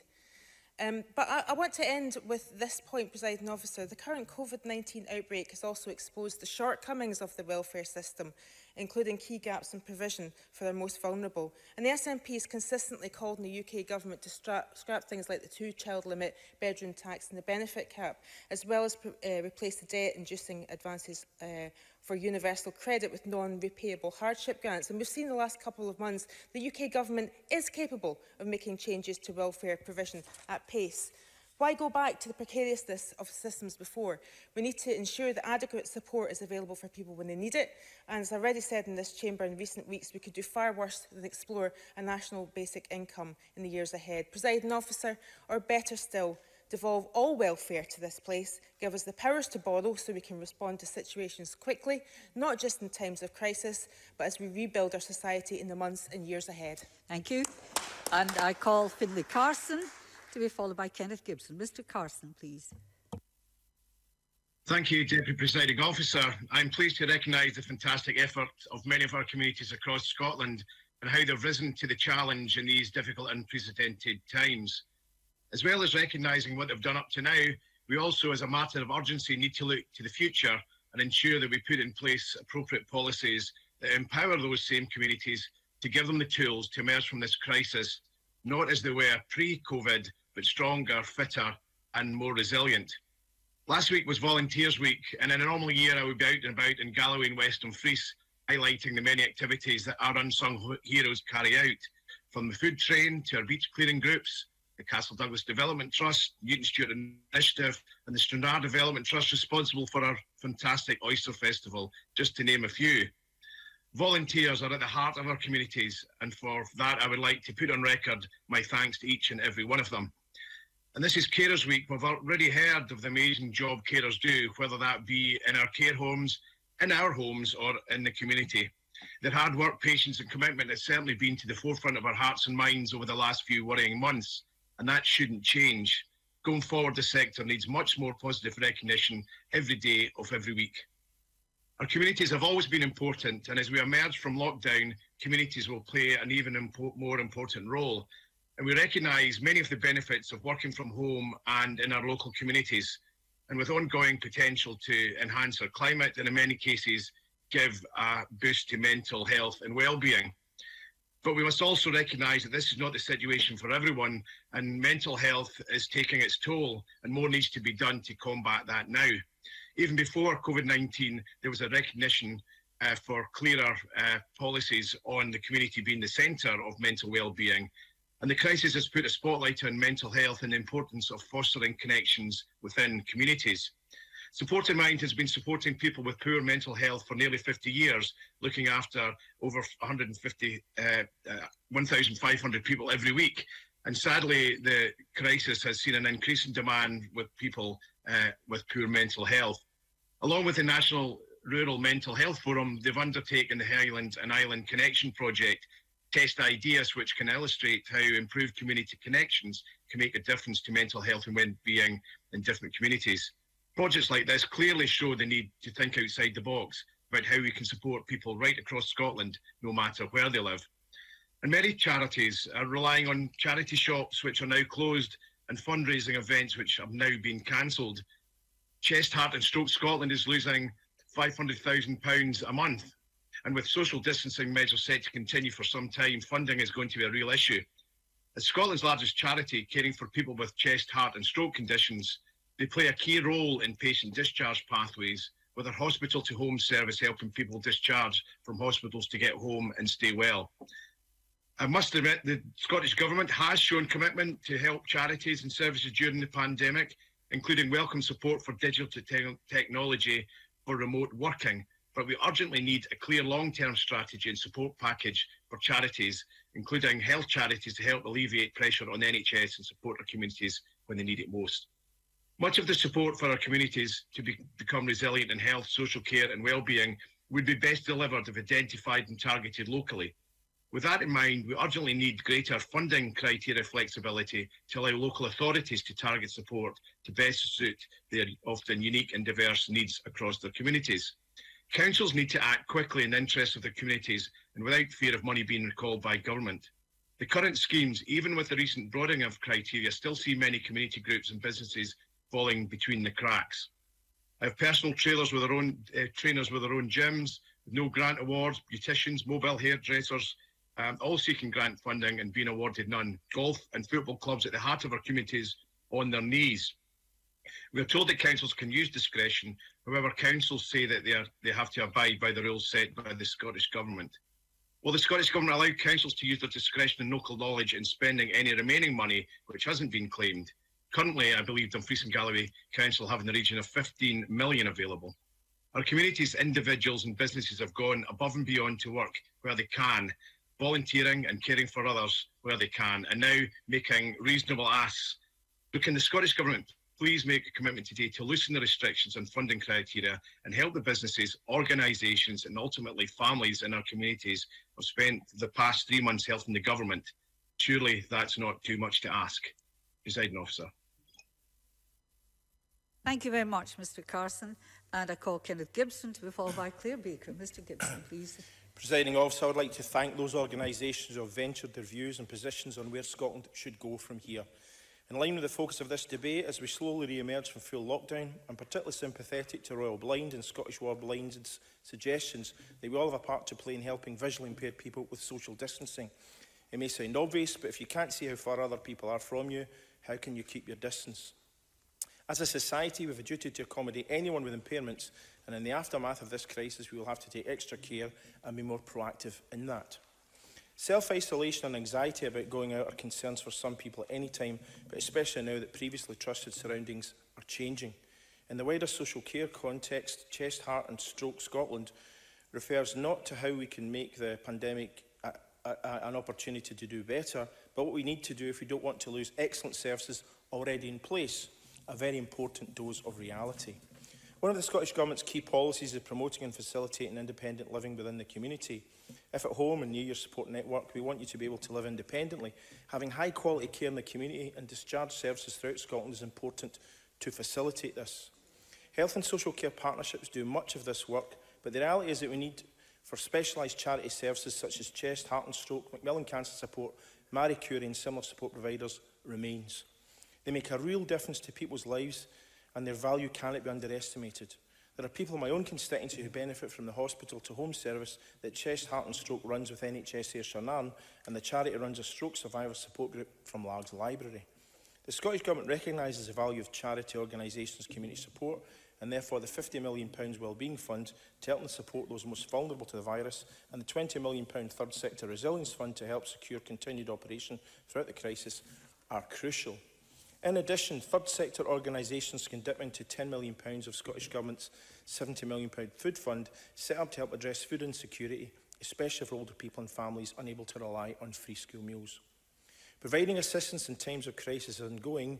Now is the time to look at the mid to long-term prospects of the third sector and how we can help them continue, adapt and develop their support services in this changed circumstance. I have had several exchanges with the ministers and councillors giving evidence to the Local Government and Communities Committee on how important it is that, they, that when discretionary powers along with funding are devolved to local authorities, they should take that responsibility and execute it flexibly. It is important that misinformation does not take place and ministers must be clear to those allocating funds what discretion they have to ensure the right funding goes to those who need it and expectations of others are properly managed. During the crisis, crucial work has indeed been undertaken at the heart of communities, and I'm grateful to North Ayrshire Council locally and the Convention of Scottish Local Authorities. One element is community planning, and from 2017 onwards, locality planning partnerships have functioned in North Ayrshire based on community empowerment, and I'm sure such partnerships will fill similar roles across Scotland. Any local authority that hasn't channeled its efforts into communities on a locality level may well have missed a trick. Community planning partners are tasked with making plans which describe local priorities, what empowerments are planned and when these will be made. It aims to meet the needs and ambitions of local people so that voices are, their voices are especially important. With representation from community councils, the local authority, health and social care partnerships and community groups, decisions and recommendations are made regarding proposed developments, funding for community groups, how to help tackle social isolation and other key priorities identified per locality. There are six partnerships in North Ayrshire, four of which are in my constituency of Cunningham North. Garnet Valley, North Coast, Three Towns and Arden. Island proofing enabled Arm to its own locality, and rightly so. This local element has proven very effective in these times of crisis. Since the beginning of the coronavirus outbreak, locality planning partnerships have played a key role in North Ayrshire, where volunteers and council officers, particularly from the Connected Communities team, have made good use of such structures to put local COVID-19 support hubs in place. The speed at which these hubs were organised in lockdown was impressive, and they've undertaken phenomenal work for which local residents are very grateful. The COVID-19 community hubs provide a local point of contact for any community need arising and they've responded with advice, signposting, referral and the tasking of local volunteers. While digital resources such as websites and social media pages are not as costly to maintain and update, only councils can assess whether keeping physical locality hubs uh, open after the pandemic uh, in each locality and, is justifi and whether or not this will be justifiable from a budgetary perspective. The move from planning activities to coordinating hands-on services directly within communities will by now have amassed a wealth of experience and processes to hopefully be harnessed in future. Last week was Volunteers Week and those who enjoy volunteering at any time will wish to continue playing their part. And we all appreciate the efforts of Alex Cole Hamilton in this particular regard. However, I also recognise that council should not rely too heavily on volunteers. Community empowerment cannot become an excuse to simply leave local communities to it, and support both from councils and government remains critical. Presiding officer, COVID-19 has brought much insecurity not only to Scotland but across the world and we know that life will not be the same for a very long time to come. Getting our finances ready is only one aspect of this. The way we help people and communities thrive is a matter of redesigning how we deliver services effectively.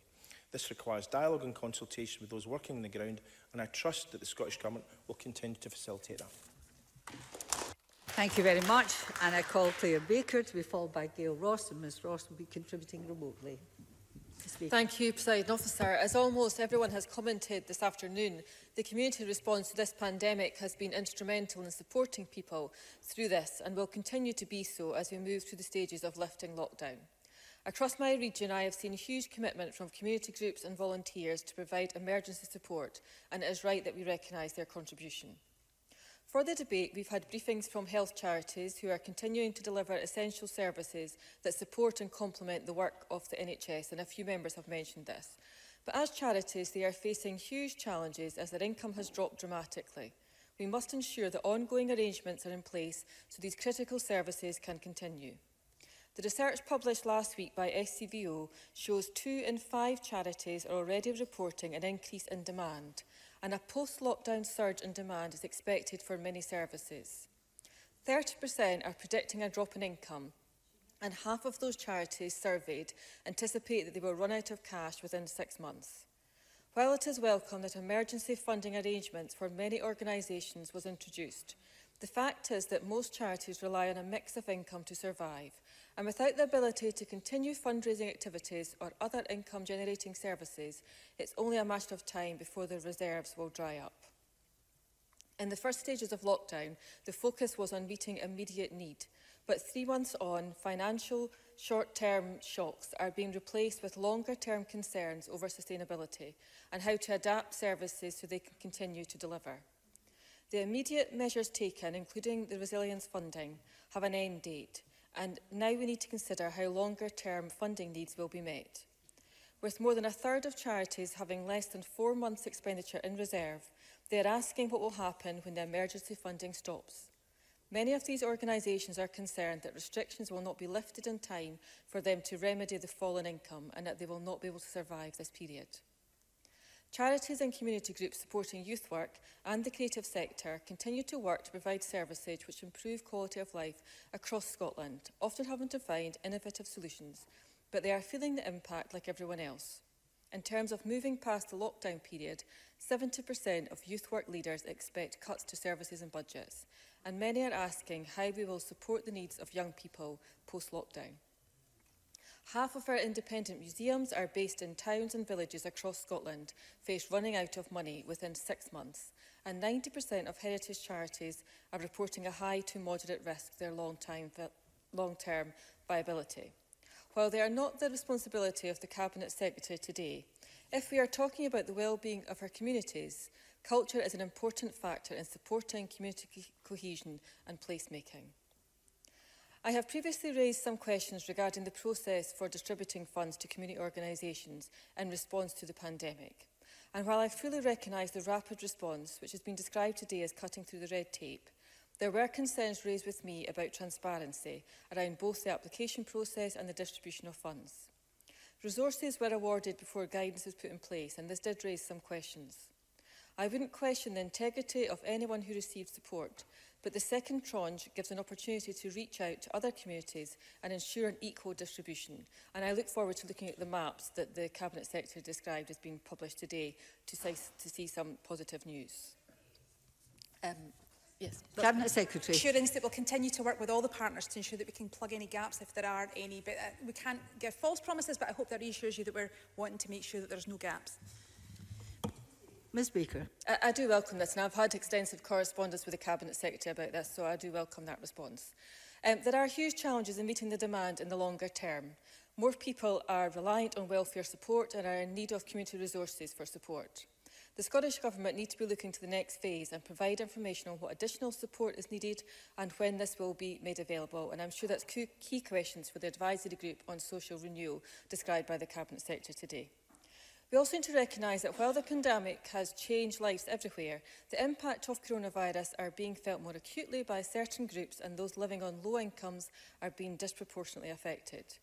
Those already living in poverty are under further financial pressure and levels of poverty and child poverty are rising fast in some of our poorest communities. We have seen unprecedented levels of food insecurity and a third of Scots have concerns over the ability to pay for food and other essential items. We are already seeing increased numbers of self-employed and those newly applying for universal credit and others experiencing unseen poverty issues and accessing food banks. Many charities are working hard to provide emergency food and support, but increasing numbers are now reliant on these services and demand is only expected to increase as lockdown eases and unemployment is expected to rise. As we approach the school holidays, I have previously asked the Cabinet Secretary about additional support for all local authorities to deliver the free school meals, meals programme over the summer, and I hope she will um, consider this. She has talked about a cash-first approach, and I think this could be part of that plan.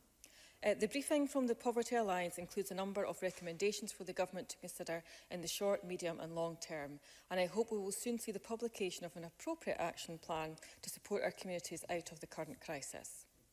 I'd also just like to say a little about the positive action we've seen during this period. In addition to the valuable community services which people are increasingly relying on throughout the pandemic, I'm sure we all know individuals and groups are responding to the lockdown and working within communities to raise spirits. In my own region, we've seen local musicians playing in the streets and outside care homes so residents can experience live music. We've also seen a band of superhero runners and walkers taking to the street daily in areas across Fife bringing joy to children and adults alike. These benefits of community action, however small, continue to be important, and I want to thank all of those who are part of the positive community response to this pandemic. Thank you. Thank you very much, and I call Gail Ross. Ms Ross is the last speaker in the open debate. Ms Ross. Thank you, President Officer. I would also like to begin, as so many of my other colleagues have done, by thanking all the individuals and community groups that have stepped forward in this time of crisis to help, support, and provide for those in need. There are some amazing community led initiatives all over Caithness, Sutherland, and Ross. People just getting on and doing what needs done, sourcing funding, and volunteering in the face of extreme adversity. I also want to thank everyone across the constituency for being so patient and understanding and sticking with the lockdown guidance. It's because of you that we find ourselves in the position of having a relatively low number of confirmed cases in the region.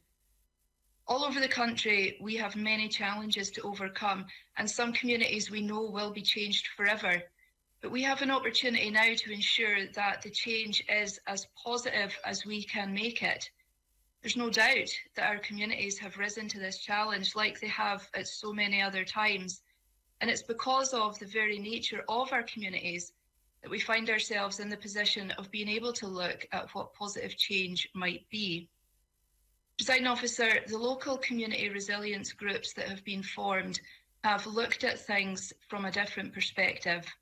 The way that they have operated is the way that the community planning partnerships were initially modelled. We cannot afford to lose this momentum. Their energy and the way of working must be harnessed community planning done from a grassroots level, done by those on the ground with the contacts working in the sectors. We also have a chance to look at things like the city region deal, funding that has been committed but not spent. Have our priorities changed? How is that money being spent? Is it being spent to the benefit of all our communities?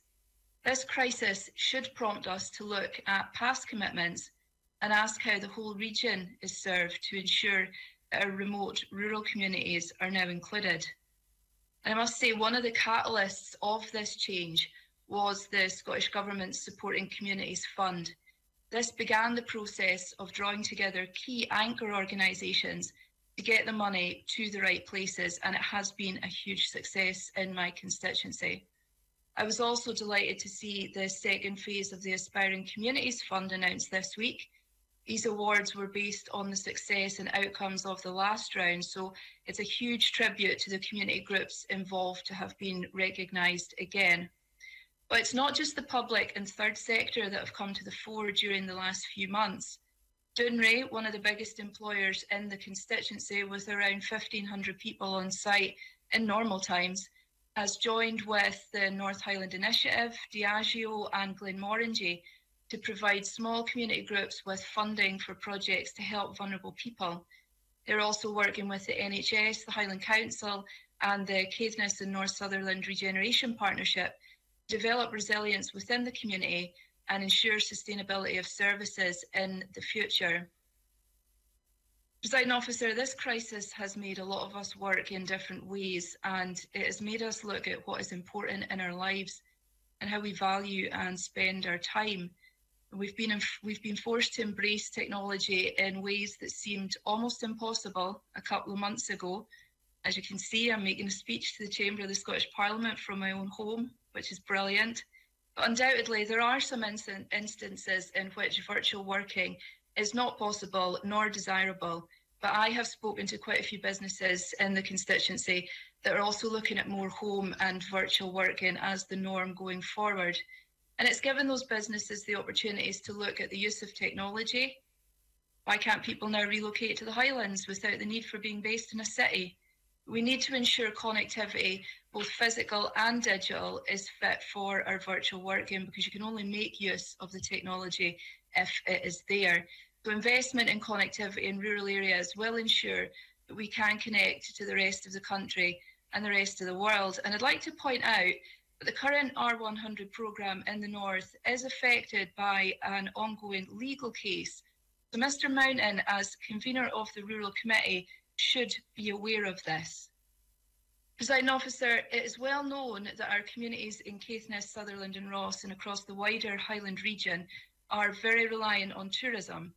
And the businesses involved in this sector are devastated by a huge loss of income in what is an already short season and they are looking for detailed guidance on how and when they can safely start operations again. And the emphasis here has to be on safely. But some residents are very worried about what they see as an influx of people coming to the area, possibly bringing the virus with them and spreading it around some very fragile communities with high numbers of elderly people. And I don't blame them for being nervous at all. There has been an increase in people travelling to the area over the last couple of weeks with little thought for the people that live here. And these communities are left feeling like they have no voice.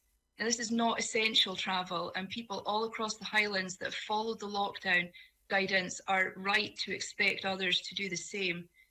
There's a fine balance between keeping our communities safe and becoming unwelcoming in the longer term.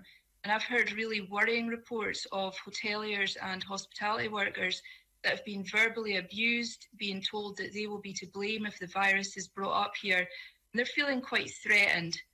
But the feedback that I'm getting from tourism representatives and workers is that it all hinges on messaging. Messaging from the Scottish Government to business, messaging from business to the communities, and messaging from the communities to the people that we want to return here when the time is right. We have to make sure that tourists and visitors are aware although we are currently closed to people travelling here for leisure purposes, this will not last forever. Tourists and visitors will be welcome when they come back, and it's essential for the Highland economy that they do.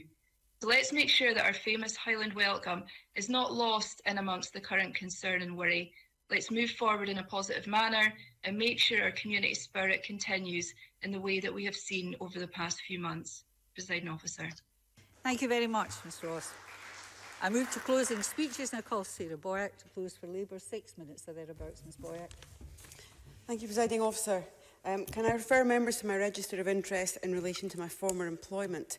Um, like others, I want to agree that COVID-19 has actually highlighted the strengths of our communities because in the face of the pandemic, communities have come together to support each other whether it's local groups delivering food parcels to vulnerable people, people providing support online, and key workers keeping vital services going. Our communities are in some ways more connected than ever today, and this is our chance to reflect on how we can support them and strengthen those connections in the, first, in the coming months. Since March, we have seen communities adapt quickly and in solidarity. We've seen councils transitioning to deliver their services in ways no one would have imagined four months ago. Staff have been redeployed, businesses supported. But what coronavirus has also done is to highlight the structural weaknesses in our society and the lack of a safety net for far too many We knew that the gig economy was bad for individual people, but it's now clear how its negative impact disproportionately affects women and young people. We knew that working conditions across the social care sector varied, but now we know how poorly paid and insecure many social care contracts are. And we knew that councils were struggling to fund services, and we can see just how vital those services are to protecting our communities. And as Pauline McNeill highlighted, we're now beginning to see the negative economic impact of the pandemic as increasing numbers of jobs are lost and people lose our, their incomes. So this debate has got to focus on the next steps for our communities. And like others, I want to thank all those in the third sector and charities for the work they've done to date to support some of the most vulnerable in our communities and also to acknowledge the amazing contribution of volunteers. There's been a theme of colleagues' speeches today about the inspiring work we've seen in our communities and that has to go on the record. But Claire Baker's points about the vulnerability of our charities are really important. The financial vulnerability, The fact that a third of our charities have less than four months reserves is an alarm call and we need to see a long-term plan to support them. So I welcome the comment from the Cabinet Secretary that she is committed to there being no geographical gaps in support. Having looked at some of the grants that have gone thus far, that's something we need to look at going forward. One of the things I think we also need to do is to look at outreach services from our local authorities, for example, social work and how they connect people who've been shielding for weeks now and who still have the challenge of getting through the next few weeks. The points made by Anas Sarwar about communications are absolutely vital and I think they reinforce the points about the need for adequate funding so that we can see those services reaching the people that need them. There's also been homelessness almost eradicated that used to be in the too difficult category. But as Pauline McNeill and Andy Whiteman have argued, we need to see more action going forward because there were many people who are on the verge who will be at risk as jobs are lost. And those who were in the verge of eviction before the lockdown will, as it stands, lose that protection against eviction at the end of September. So there's a need for action now, and I think Pauline McNeill's bill will be critical to help prevent homelessness and ensure fair rents going forward. But if you look at Edinburgh, I, I was speaking to councillors just this week. I'm told that we have 1,200 households who are not homeless, but they are living in unsuitable accommodation. And that's not 1,200 people, that's 1,200 households. So there's much more that needs to be done to provide long-term suitable and affordable housing. So like others, Graeme Simpson and Polly McNeil, I welcome the publication today of the report by the Chartered Institute of Housing, SFHA and Shelter, which asks us to look at the range of affordable housing needs we have across Scotland and in our communities. And I know from talking to Homes for Scotland that their members and the construction industry are ready to start building again when it's safe. So there's an appetite there to get going. We need the long-term commitment and that needs to be cross-party. We are facing unprecedented times, as colleagues across the chambers have said, but the poorest and the most vulnerable communities are those who are experiencing them the hardest. We got a briefing last week from the Trussell Trust to highlight that 62% increase in food parcels given to children. And I know from talking to local council colleagues that they are really worried that they are facing huge financial pressures about continuing to provide support going forward. Like colleagues today, I couldn't stand up in Parliament without acknowledging the Black Lives Matter movement. We've seen protests across the world, including here in Scotland, but we've also seen how COVID-19 has disproportionately impacted on Black Asian members in our communities. And we've seen how services are staffed by members of those communities. So I'd ask the Cabinet Secretary in her summing up to address the concerns of Edinburgh's Unison members who contacted me this week because they're worried about the lack of guidance for councils to support those black and ethnic minority staff who are doing vital work. So I'd be keen to know if the Cabinet Secretary is looking at producing a race equality impact assessment and action plan so that we come out of the pandemic with health and safety at work central to employers' concerns and building in the evidence we now have of the experience from this pandemic on those communities. Now is the time not just to condemn outright occurrences of racism, but to address the structural inequalities which prevent, present barriers to minority communities. We've got to listen. There might be difficult conversations, but we must learn and we must build back better. And finally, we need to address the inequalities that scar too many of our communities the impact of the pandemic on older people, on women, on people from low-income communities, people with disabilities. We don't just need a better safety net, we need to build back a better equality right across society with rights that people can actually hold and see being implemented. So in closing, I want to echo the points that both Pauline McNeill and Anas Sarwar made. In the weeks to come, we must also think about the impact the pandemic on children and young people and make sure that we protect their futures. Make sure that we look at education and employment and the support that those young people can get in their communities so that the pandemic does not hold them back. It's not just about a new normal, it's about building a better, more equal society. We all need to play our part in that. Thank you, Presiding Officer. Thank you. And I call on Jeremy Balfour to close to the Conservatives. Mr Balfour is contributing remotely. Mr Balfour, please. Uh, thank you. Thank you, Deputy Presiding Officer. And I think it's been a really helpful debate. I think there's been quite a number of common themes that come through all speakers uh, so far uh, this afternoon.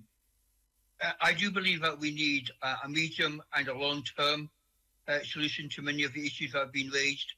we cannot resolve some of the long term issues immediately, but we do need to start addressing them and addressing them constructively and hopefully first party. If I can perhaps pick up three uh, main themes that have come across uh, to me this afternoon. The first is in regard to the third sector. We have heard many uh, examples um, across Scotland um, of those from the third sector who are doing a remarkable job. And I know within my own region here of Lothian of many groups uh, who have come and uh, filled a gap which have helped people uh, who have been most in need at this very difficult time. However, I do think there's an issue in regard to how do we fund the third sector going forward and what place does the third sector play within our society. As someone who uh, is a volunteer, as someone who has worked in the third sector, um, I understand, and I'm sure government understands, the financial pressures that many groups are under. I do think we need to look at how do we fund third sector groups, particularly smaller charities working within local communities. Um, too often, the money goes to the user suspects, and as much as they do need it, and we need to support those groups, often that money does not trickle down to the grassroots. And I think this is an opportunity uh, for us all to, to pause and look at how we spend the money and how do people apply that for that money? Um, do they have too many forms to fill out? Uh, how difficult it is, particularly for small charities which have been run by volunteers to access the money that they need to make a difference within their society. The second theme I think has come clearly out of today's debate is what, how do we help the most vulnerable, particularly those who have been homeless or maybe become homeless in the next few months. I think Graham Simpson is absolutely right. We need to get uh, houses built and we need to get the construction uh, industry back working here in Scotland as soon as possible. That we will not solve this crisis unless we have the appropriate housing. And there are a number of houses which are so close to completion, which will then free up other houses and allow the market to take place. And I do hope that the Scottish Government will address this in the very near future. But we have heard also about the uh, remarkable work that has been done around homelessness, both here in Edinburgh, uh, Glasgow, and other parts of Scotland. And I too welcome uh, the Cabinet Secretary's uh, starting up of a homeless working group again. I, I suppose my question around that and perhaps maybe can be dealt with in summing up is what is the timescale for that working group? That we've heard from a number of speakers that the hotels that are being used here in the city may come to an end within the next few weeks or certainly within the next couple of months. And the danger is that those individuals who have been helped in those hotels simply end back on the streets. And so I'd be interested to know from the Cabinet Secretary in her summing up is how will this working group report and how quickly can Scottish Government, uh, local authorities, and the third sector work together on this so that we have a proper solution. Uh, finally, I would like to turn to those who are shielding. Um, I understand to some degree why the government is being cautious, but I do think we have to understand the pressure we are putting on uh, individuals and families who are shielding at present particularly those who are disabled or have disabled members of their family. How are we going to get more people back into employment if they are being shielded? How are we going to get people to go to college and university in September if they are still shielding or have these restrictions? In regard to practicalities, I have um, a constituent here in Edinburgh who is shielding but has two children who are at school. Will they be allowed to return to school? If not, how will their education be affected and how will um, they be educated? Will it simply done remotely or other, other ways of doing it? I think we have to look at the impact shielding is having on many families and many individuals and to see whether we are moving quick enough on this. I think us, because Deputy Presiding Officer, have recognised uh, the challenges that we face over the next months and years. Uh, however, I am confident that our communities, with the right support, can um, be challenged and addressed on these. And I hope that the third sector will play the role that they have been playing already, but in a greater way in regard to that.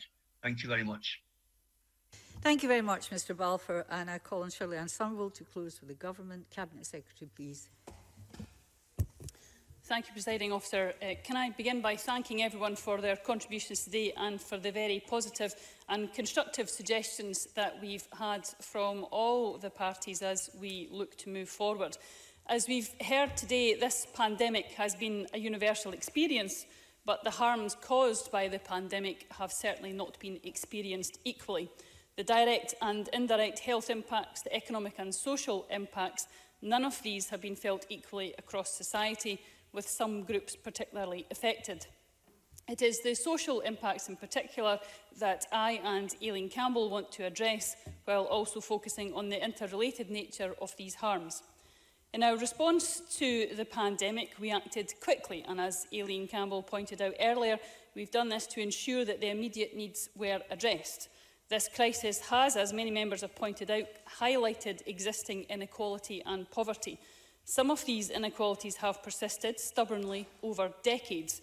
We simply cannot allow these to be made worse over the long term by the impact of the pandemic, which is why we're taking forward our social renewal work to lock in the progress made and the good work we've seen and to grasp the opportunities as we move to recovery and renewal. We are aware that this will not be easy and that there are many challenges ahead. At a recent table, stakeholders shared with Aileen Campbell and I that we should see this recovery as a healing process, that we need to heal the trust in our social contract. Stakeholders also said that there have been some great examples of this already, and to quote directly, organisations and people need to drop their egos, lose their logos and their silos to get jobs done. When this crisis hit, we proved we can change rapidly and improve outcomes, And I don't want this change to be a temporary change, but to be something that is permanent and sustainable. And many of the contributions today have pointed to how this can be done. Graham Simpson pointed to the importance of planning and communities that have facilities. That importance of the outdoors and green space has been much valued by people uh, during the last couple of months and much missed by those who do not have the chance to use it. And as Kevin Stewart pointed out in an intervention, um, we should also add the importance of building standards to that as well. I would say to Graham Simpson, however, I'm disappointed by his unfair characterisation of what's happened with the child poverty report. The government has been busy supporting the very communities that we have been talking about all afternoon, and it has been unable to make sure that the report has been completed on the timescales that we had wished, but we will absolutely report as soon as is practical. Pauline McNeill raised again a number of very important points. She was the first of many members to talk about and pay tribute to the community groups in her area, some of them well established, some of them brand new, and it would be remiss of me, presiding officer, at this point not to uh, pay tribute to one in my own local area, the West Fife Support for the Vulnerable Shield group, which is one of many that have sprung up in local communities. Ms McNeill also pointed out quite rightly that we need to be aware of how we treat our older people in our society. That's something which we need to learn lessons on um, all the time, but have been brought into great focus during this pandemic. And particularly, she also pointed to the impact on young people, the impact of the job losses and the importance of looking particularly at the young shielded group. And I will absolutely take on that challenge that she gave us to be bold and innovative as we look forward. And as Aileen Campbell, I think, pointed out, we will look at the ideas that she has uh, suggested already today. Andy Whiteman um, talked about the importance of ensuring that we protect tenants. I won't rehash the details of past uh, bills, Mr Whiteman, I'm sure, and the rest of the chambers will be glad to know, but I will give him the assurance that we will look at any bold and workable solution that comes forward, as this government is determined to support our tenants, as we have done already during this pandemic. Alec Cole Hamilton and indeed many others talked about the acts of kindness that we've seen from individuals, from community groups, from local businesses, and I would also add many faith groups into that. And again, the I would give the example of the Dunfermline Central Mosque from my own constituency. They have been a shining light uh, within a very, very dark period that our country has experienced, and those acts of kindness have been much welcome and much appreciated by many. He also spoke, as did others, about the resilience of many of our communities and about that importance of localism, something that Ruth Maguire also pointed to. And that importance of localism and empowering our communities, something which again has been much talked about, but we must ensure happens in practice much better than it has done in the past. Ruth Maguire also um, asked about the membership of the advisory board. I would stress that we have not sent out all the invitations for the advisory boards um, as yet, uh, but I would confirm uh, that Tressa Burke from the Glasgow Disability Alliance has accepted an invitation uh, to take part and more invites are due to go out over the next few days. And we will also look very carefully at the circles which will flow from the advisory uh, board to ensure that we have um, representation from as broad a spectrum within Scottish society as possible. Certainly. Graham Simpson. Thank you. It's just a quick question on the advisory board. Uh, will there be some way in which it can report to Parliament rather than just straight to government? Julianne Somerville. Well, it's certainly something that we're very keen to ensure is as open as possible in its working. Eileen Campbell and I will give serious consideration about how we can ensure that Ms Campbell and I are continuously updating um, Parliament at key stages um, in its work, and I'm sure there will be a number of uh, committees that will also look to find out more about the, the board in due course.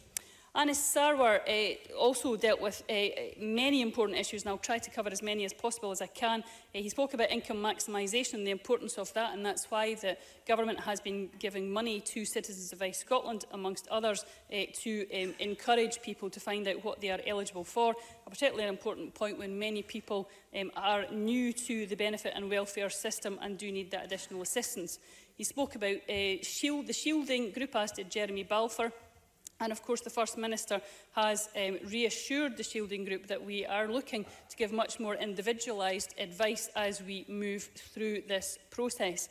He also quite rightly pointed out uh, the impact of the coronavirus on the black and minority ethnic communities. He spoke about the community networks and the established contacts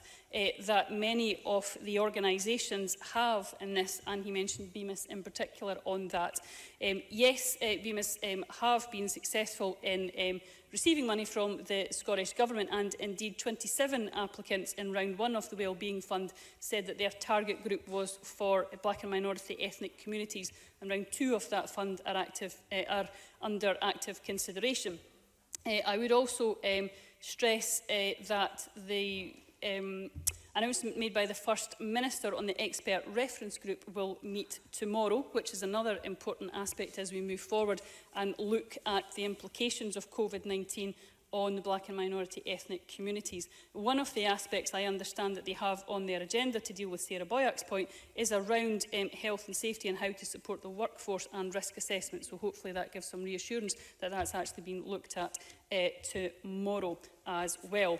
But Anna rightly pointed out that we also need to look at the structural inequalities uh, that we have to challenge ourselves on as well as just what's been happening in the global pandemic that we're currently in. Gillian Martin spoke about the flexible and home working, as did uh, Gail Ross.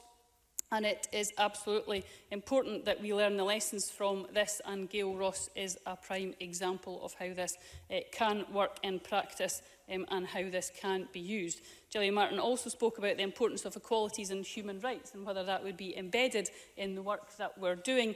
And again, I would uh, reassure her, hopefully, that uh, the um,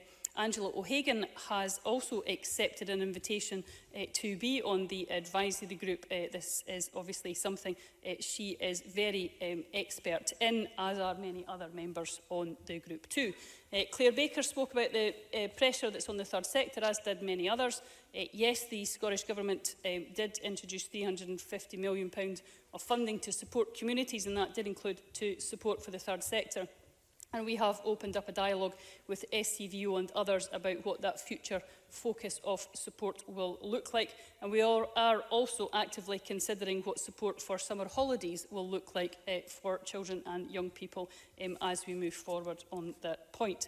Uh, Presiding officer, hopefully um, I've covered most of the points that um, people um, have raised um, during the debate. Uh, I would say that we are launching today a bold policy and practice platform for social renewal, one which takes account of people and their lived experience. We do intend to build on the collaboration that has already been taking place. We don't want to simply reinvent the wheel or have meetings for meeting's sake. An important example of how we do this is the importance that we will place on lived experience. One example which we will use during this is the social security experience panels, They've obviously been involved with the development of devolved social security policy design and delivery and that's been people with lived experience having a real influence and we want to build on this and see how we can use the experience panels and indeed other ways to learn from that lived experience as we go forward. We've set out a clear and ambitious vision of what we are looking for during this process. It's about a more equal, more prosperous and socially just Scotland and our board will be guided to do so. Our work will have to be evidence-based and it will be guided by the local responses that we have. We must be mindful of the financial realities, of course, of our times and that our outcomes must be sustainable. And as part of this work, we intend to get a better understanding of what has worked, where are the gaps, and if we had a second chance, what might we have done differently? This will take account of this learning and will be used to form our future approach. Presiding officer, today we've set out a vision to renew Scotland and to make a first step towards healing the harms caused by COVID-19 in our communities. We speak often of renewal or building back better. Our stakeholders have challenged us to build forwards better, and I think that's something that we can all support.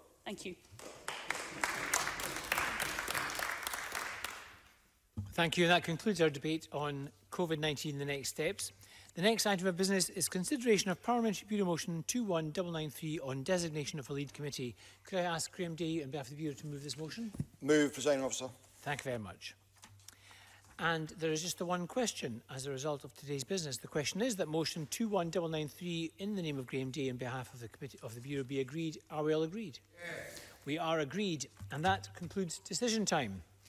I close this meeting.